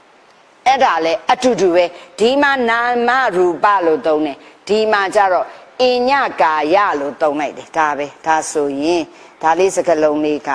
ပြောပြမယ်အညပါဠိကိုချက်ဖို့အညကာယသင်္ကမနသင်္ကမနဆိုတာပြောင်းရွှေ့တာပြောင်းရွှေ့တာပြောင်းရွှေ့တယ် အညကာယလို့ပြောတဲ့အတွက်အခြားအညဆိုတာအခြားကာယဆိုတာအခြားခန္ဓာကြီးပေါ့ဒါကြောင့်အခြားခန္ဓာကိုယ်ကြီးကိုတဲ့သင်္ကမနပြောင်းရွှေ့တာလားတဲ့ဆိုဒီမေခွန်းလေးဒါလေးအင်အညကာယသင်္ကမနပညာသင်္ကမနပြောင်းရွှေ့သွားတယ်အညကာယဒါကြောင့်ဘာလေးသွားလဲပြောင်းရွှေ့တယ်ဆိုတဲ့ကပဋိသန္ဓေမွေးတာပဲ ဒါကြောင့်ယခုဘဝခန္ဓာကိုယ်ကြီးပျက်စီးသွားလျင်လက်ရှိလက်ရှိပျက်စီးမဲ့ကာယကြီးကတဲ့ပဋိသန္ဓေနေမဲ့အခြားကာယကိုပြောင်းရွှေ့သွားတာလားတဲ့ဆိုတော့ခန္ဓာကိုယ်ကြီးပြည့်သွားရင်လက်ရှိဒီသေးတဲ့ဘဝကာယကြီးသည်နောင်ဘဝကာယအခြားကာယကိုပြောင်းရွှေ့သွားသောတတ္တဝါရဲ့လို့မရှိပါဘူးတဲ့ အစ်စ်ပြောင်းရွှေ့သွားတာမရှိပါဘူးတဲ့သေပြီးဘဝနဲ့ပဋိသန္ဓေနေတဲ့ဘဝဒီဘာလို့လဲကြောင်းကျိုးဆက်ဆက်မှုရှိတယ်ဆိုလိုတာဒီလူတယောက်တရက်စီစိုက်လိုက်တယ်ဟရိတရက်စီဒီအပင်ကြီးပေါက်လာပြီအပင်ကြီးပေါက်လာရင်အဲ့ဒီမှာအသီးသီးမယ်အဲ့ဒီအသီးကိုအဲ့ဒီလူတယောက်ကခိုးစားလိုက်ပြီအဲ့တော့သူစားလိုက်တော့တရက်စီဒီအဲ့ဒီလူစိုက်ခဲ့တဲ့တရေစီတော့မဟုတ်ဘူး ဒီဘဝကသေတယ်နောင်ဘဝပဋိသန္ဓေနေတယ်အဲ့ဒီပဋိသန္ဓေနေတဲ့အချိန်မှာဖြစ်သောရုပ်တရားနံတရားတို့သည်ဒီသေခဲ့တဲ့သူရဲ့ရုပ်တရားနံတရားမဟုတ်ဘူးသို့တော့ဒီဟာဒီတီးကြတတ်တယ်လည်းမဟုတ်ဘူးဒီလူစိုက်ခဲ့တဲ့တရေစီကပေါက်လာတဲ့အပင်ကနေအသီးကိုစားတာဖြစ်တဲ့အတွက်ကြောင့်သေသွားတဲ့ဘဝမှာလုတ်ခဲ့သောအကုသိုလ်ကံရဲ့ အကျိုးကြောင့်ရှေးဘဝနဲ့နောက်ဘဝဆက်ဆက်မှုရှိပြီးတော့တေပြီးရှေးဘဝကပြုခဲ့သောအကုသိုလ်ကံရဲ့အကျိုးကိုနောင်ဘဝတည်းမှာခံစားရပါတယ်ဆိုဒီမှာတုန်းကနံယုတ်လို့သုံးတယ်ဒီဘက်ကျတော့ကာယလို့သုံးတယ်เนาะအဲ့ဒါဒီသဘောတရားချင်းအတူတူပဲဆိုကြောင်းတွဲကြည့်လိုက်အဲ့ဒီမှာဥပမာပြောပါဆိုလေတရက်ပင်နဲ့ဒီတရက်သေးပဲ ဒါကြောင့်မေကွန်းကနံရုပ်လို့မေးမလားကာယလို့မေးမလားဒီဘက်ကတည်သွားတဲ့သူရဲ့နံရုပ်တီဟိုဘက်ပဋိသန္ဓေနေတဲ့နံရုပ်ကိုပြောင်းတူတူပဲပြောင်းရွှေ့သွားတာလားဆိုဧကတ္တလားမဟုတ်ဘူးပြောင်းရွှေ့တာလားသင်္ကမနာမဟုတ်ဘူးမပြောင်းရွှေ့ဘူးဒါဆိုတိကြဒီဘက်ကလှုပ်ခဲ့တဲ့တေခဲ့တဲ့သူလှုပ်တဲ့ကံဆွမ်းကြောင့်တိကြဖြစ်နေတာတဲ့နာနတ္တလားဆိုဟုတ်တယ်နာနတ္တပဲအဲ့တော့ဒီဘက်မှာဆိုရင်လေ ဒီဘက်ကတီးကြဖြစ်တဲ့နေရာမှာတီးကြဖြစ်တာဒီဒီဘက်ကအကြောင်းလေမကင်းဘူးဒါပဲဒီဟာပဲလဲနေတာနားလဲပြီနော်ဒါကြောင့်ဒီနှစ်ခုဒီမေကွန်တိုက်ပုံစံတူတယ်ဒါကြောင့်ကျမဓမ္မမိတ်ဆွေများတွဲကြည့်ပါလို့ပြောတယ်ရပြီလားနောက်ဆုံး30ဒါကြတော့မေကွန်နံပါတ်ကိုကြည့်ရင်သင်္ကမနဆိုတာကပြောင်းရွှေ့တယ်ပฏิတန်ဒဟနဆိုတာကမွေးဖွားတယ် အဲ့ဒီမှာဘာထည့်ထားအာလေးထည့်ထားတဲ့အတွက်အသင်္ကာမနပฏิတန်ဒဟနလို့ပြောထားတဲ့အတွက်ယခုဘဝကနေပြီးတော့နောင်ဘဝကိုကူးသွားတာတဲ့ဒီဘဝကကူးသွားတာဘာတွေကူးသွားတယ်လဲကူးသွားတယ်ဆိုတာဘာမှမရှိဘူးဒီဘဝကသုတိဆိုပြီးဥပတ်တီပင်ချုပ်သွားတယ်ဟုတ်လားယုတ်ခဏကြီးလဲ ဒီတိုင်းကြံရင်ခဲ့တယ်နန်ဆိုတဲ့အသက်ကောင်လိပ်ပြကဝိညာဉ်ကဟိုဘက်ကိုကူးသွားတာဘာတခုမှမရှိဘူးအသင်္ကမနပဋိတန်တဟနပဋိတန်တဟနမွေးဖွားတယ်ဆိုသည်မှာအသင်္ကမနမွေးဖွားတဲ့နေရာမှာဒီဘက်ဘဝကနေမွေးဖွားတာဘာမှမရှိကူးသွားသည်မှာဆိုတာအဲ့ဒါဘာလဲသင်္ကမနပဲ sorry ပဋိတန်တဟနပဲနောင်ဘဝတို့ကူးသွားတယ်ဆိုတာပဋိတန်တဟနဒီဘဝကနေကူးသွားတာမရှိပါဆိုအသင်္ကမနာသို့တော့ဒီဘဝကယုံနံကို အကြောင်းပြုပြီးပြုထားတဲ့ကံတွေကြောင့်နောင်ဘဝမှာအကျိုးနံရုပ်တွေပြန်ဆက်ဆက်ခြင်းသာဖြစ်ပါတယ်ဆိုပြီးတော့ဥပမာလေးမှာစီမီကုတဲ့ဥပမာရဲ့ကြပြာတင်တဲ့ဥပမာရဲ့ဟုတ်လား ဒါလေးပြန်ကြည့်အောင်မစီမီကုတဲ့မှာဒီစီမီတိုင်ကနေဟိုဘက်ကိုကူးသွားတာမရှိဘူးနော်ဒါပေမဲ့ဒီစီမီတိုင်ရဲ့အကြောင်းလည်းမကင်းဘူးကြပြာတင်တယ်ဆရာလုပ်တဲ့သူကကြပြာတင်တယ်ဆရာလုပ်တဲ့သူရဲ့ကြပြာသည်တပည့်လုပ်တဲ့သူရဲ့ပါဇက်ကိုကူးသွားတာမဟုတ်ဘူးသို့တော့ဒီကမှမတင်ရင်လေဟိုဘက်မှာလိုက်ပြီးတော့မဖြစ်နိုင်ကဲကလေးတွေလိုက်ဆိုညအခါ ဆိုရင်ညအခါဆိုလိုက်ဆိုကြတယ်ဆရာလုပ်တဲ့ညအခါဒီတပည့်တွေကလေးတွေကူးသွားတာမဟုတ်လာတာတာလိုက်ဆိုကြလာတာတာကစားမလားနားမလားဆိုကြကူးသွားတာဘာမဟုတ်ဒါပေမဲ့ဆရာလုပ်တဲ့သူရဲ့အကြောင်းမကင်ဘူးလိုက်ဆိုကြတယ်ဒါဆိုရင်ပဋိတန်ဒီဆိုင်ရာပု္ပ္ပစာတွေအကုန်ပြီးသွားပြီ10ဘုတ်ပြန်မမွေးတာကတပုတ်လာနိုင်တယ်ပြန်မွေးတာက တပုတ်လာနိုင်တယ်ဓမ္မမိတ်ဆွေများအဲ့တော့ဒီထဲကတော့ကျမမှန်းထားတာတော့နှစ်ပုတ်တော့မှန်းပါတယ်နော်အ ਨੇ ဆုံးတော့တပုတ်ပေါ့အများဆုံးတော့နှစ်ပုတ်အဲ့ဒါကြောင့်ဒီအပိုက်ကိုသေချာဒီကနေ့ညမှာအကျွေးမထားပဲကြောင်းပစွန်စာကျွတ်ကျွဝါတယ်လို့ပဋိသင်္ဍီဆဲပုတ်စလုံးကိုမွေးသူရောမမွေးသူရောဘိုင်ဟတ်လောက်လိုက်ပါတော့ဒီနေ့အပိတက်လိုက်မယ်ဟုတ်ပြီနော် ကဲကျမတို့မနှက်ဖန်ကြလို့ရှိရင် lecture ဆက်ယူမယ်ဆက်ယူတဲ့အခါမှာမနှက်ဖန်ကြရင်ကျမဗုဒ္ဓဆိုင်ရာပု္ပ္ပစာတွေသွားတော့မယ်နော်ဗုဒ္ဓဆိုင်ရာပု္ပ္ပစာကိုလေဓမ္မမိတ်ဆွေတို့ဒီနေ့ညဒါကိုလဲကြောင်ပစွန်စာကြွကြွဝါပြီးရင်ဗုဒ္ဓဆိုင်ရာကိုလည်းနည်းနည်းကျမပြောထားတာအလုံးပေါင်း၈ပုတ်ထင်တယ်နော်ဗုဒ္ဓဆိုင်ရာက၈ပုတ်ရှိမယ် အဲ့ဒီ၈ပုတ်ကိုနည်းနည်းလေးအဲ့ဒီဇရာလေးနဲ့ပဲကျမလှုပ်ပေးထားအဲ့ဒါလေးကိုနည်းနည်းလေးလိုက်ကြည့်ပါကျမစာအုပ်ကိုဖတ်မပြတော့လုံးဝမဖတ်တော့နော်မဖတ်ဖဲနဲ့အဲ့ဒီကျမထုတ်ပေးထားတဲ့အဲ့ဒီ၈ပုတ်စလုံးကိုလေကျမအဲ့ဒီဇရာလေးနဲ့ကျမတင်သွားမယ်မေးဇရာဘာမှမရှိဘူးဒီထဲမလာနိုင်လာရင်ဟိုမေးအောင်စုံအောင်စီအောင်မေးမယ်ဆိုရင်လေ တပုတ်လောက်ငါးမဖိုးလောက်ပဲမေးနိုင်တယ်ဒါကြောင့်ကျမတို့ဒီမှာအချိန်မကုန်တော့ဘူးเนาะเนาะဒါကြောင့်ဒါလေးကိုခတ်တွတ်တွတ်သွားလိုက်မယ်မနဲ့ဖန်ဒီရှစ်ပုတ်စလုံးအပိသိမယ်ရပြီเนาะနောက်တစ်ခါအထွေတွေဘူးတုတာဆိုတာရှိတယ်အားလုံးပေါင်း18ပုတ်တောင်ရှိတယ်အဲ့ဒီ18ပုတ်ကိုလည်းကျမအခုလိုက်ပြီးတော့ခုမှတ်စုအဲ့ဒါလဲစာအုပ်ကိုတပုတ်ချင်းမဖတ်တော့မဖတ်တော့ဘဲနဲ့ အဲ့ဒီຢာလေးကိုလည်းအဲ့ဒီလိုပဲလှုပ်ပေးထားမယ်အဲ့ဒီຢာလည်းမေးခွက်မရှိဘူးပြောစရာကြီးနော်မရှိဘူးဆိုတော့တချောင်းလောက်တချောင်းလောက်ဆိုဆရာတော်နှောက်အောင်ဆေးအောင်မေးမယ်ဆိုရင်ဗုဒ္ဓဆရာငါမှတ်ဖို့ဟိုကငါမှတ်ဖို့အဲ့လောက်ပဲလာလိမ့်မယ်မေးခွက်တွေကဒီ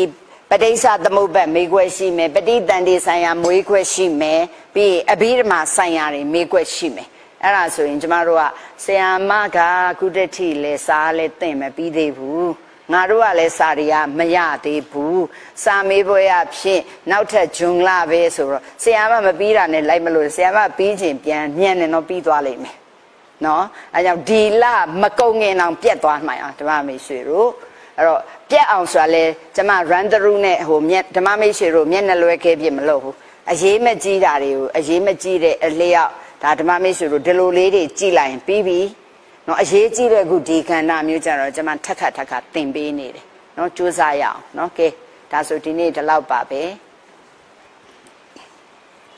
မင်္ဂလာပေါင်းနဲ့ပြည့်စုံကြပါစေကိုယ်စိတ်နှစ်ဖြာကျမ်းမာချမ်းသာကြပါစေသက်ရှိကျမ်းမာစွာဖြင့်သူတော်ကောင်းတရားများစတဲ့တဘူပွားတူအာထုတ်ကျင့်ကြံနိုင်ကြပါစေ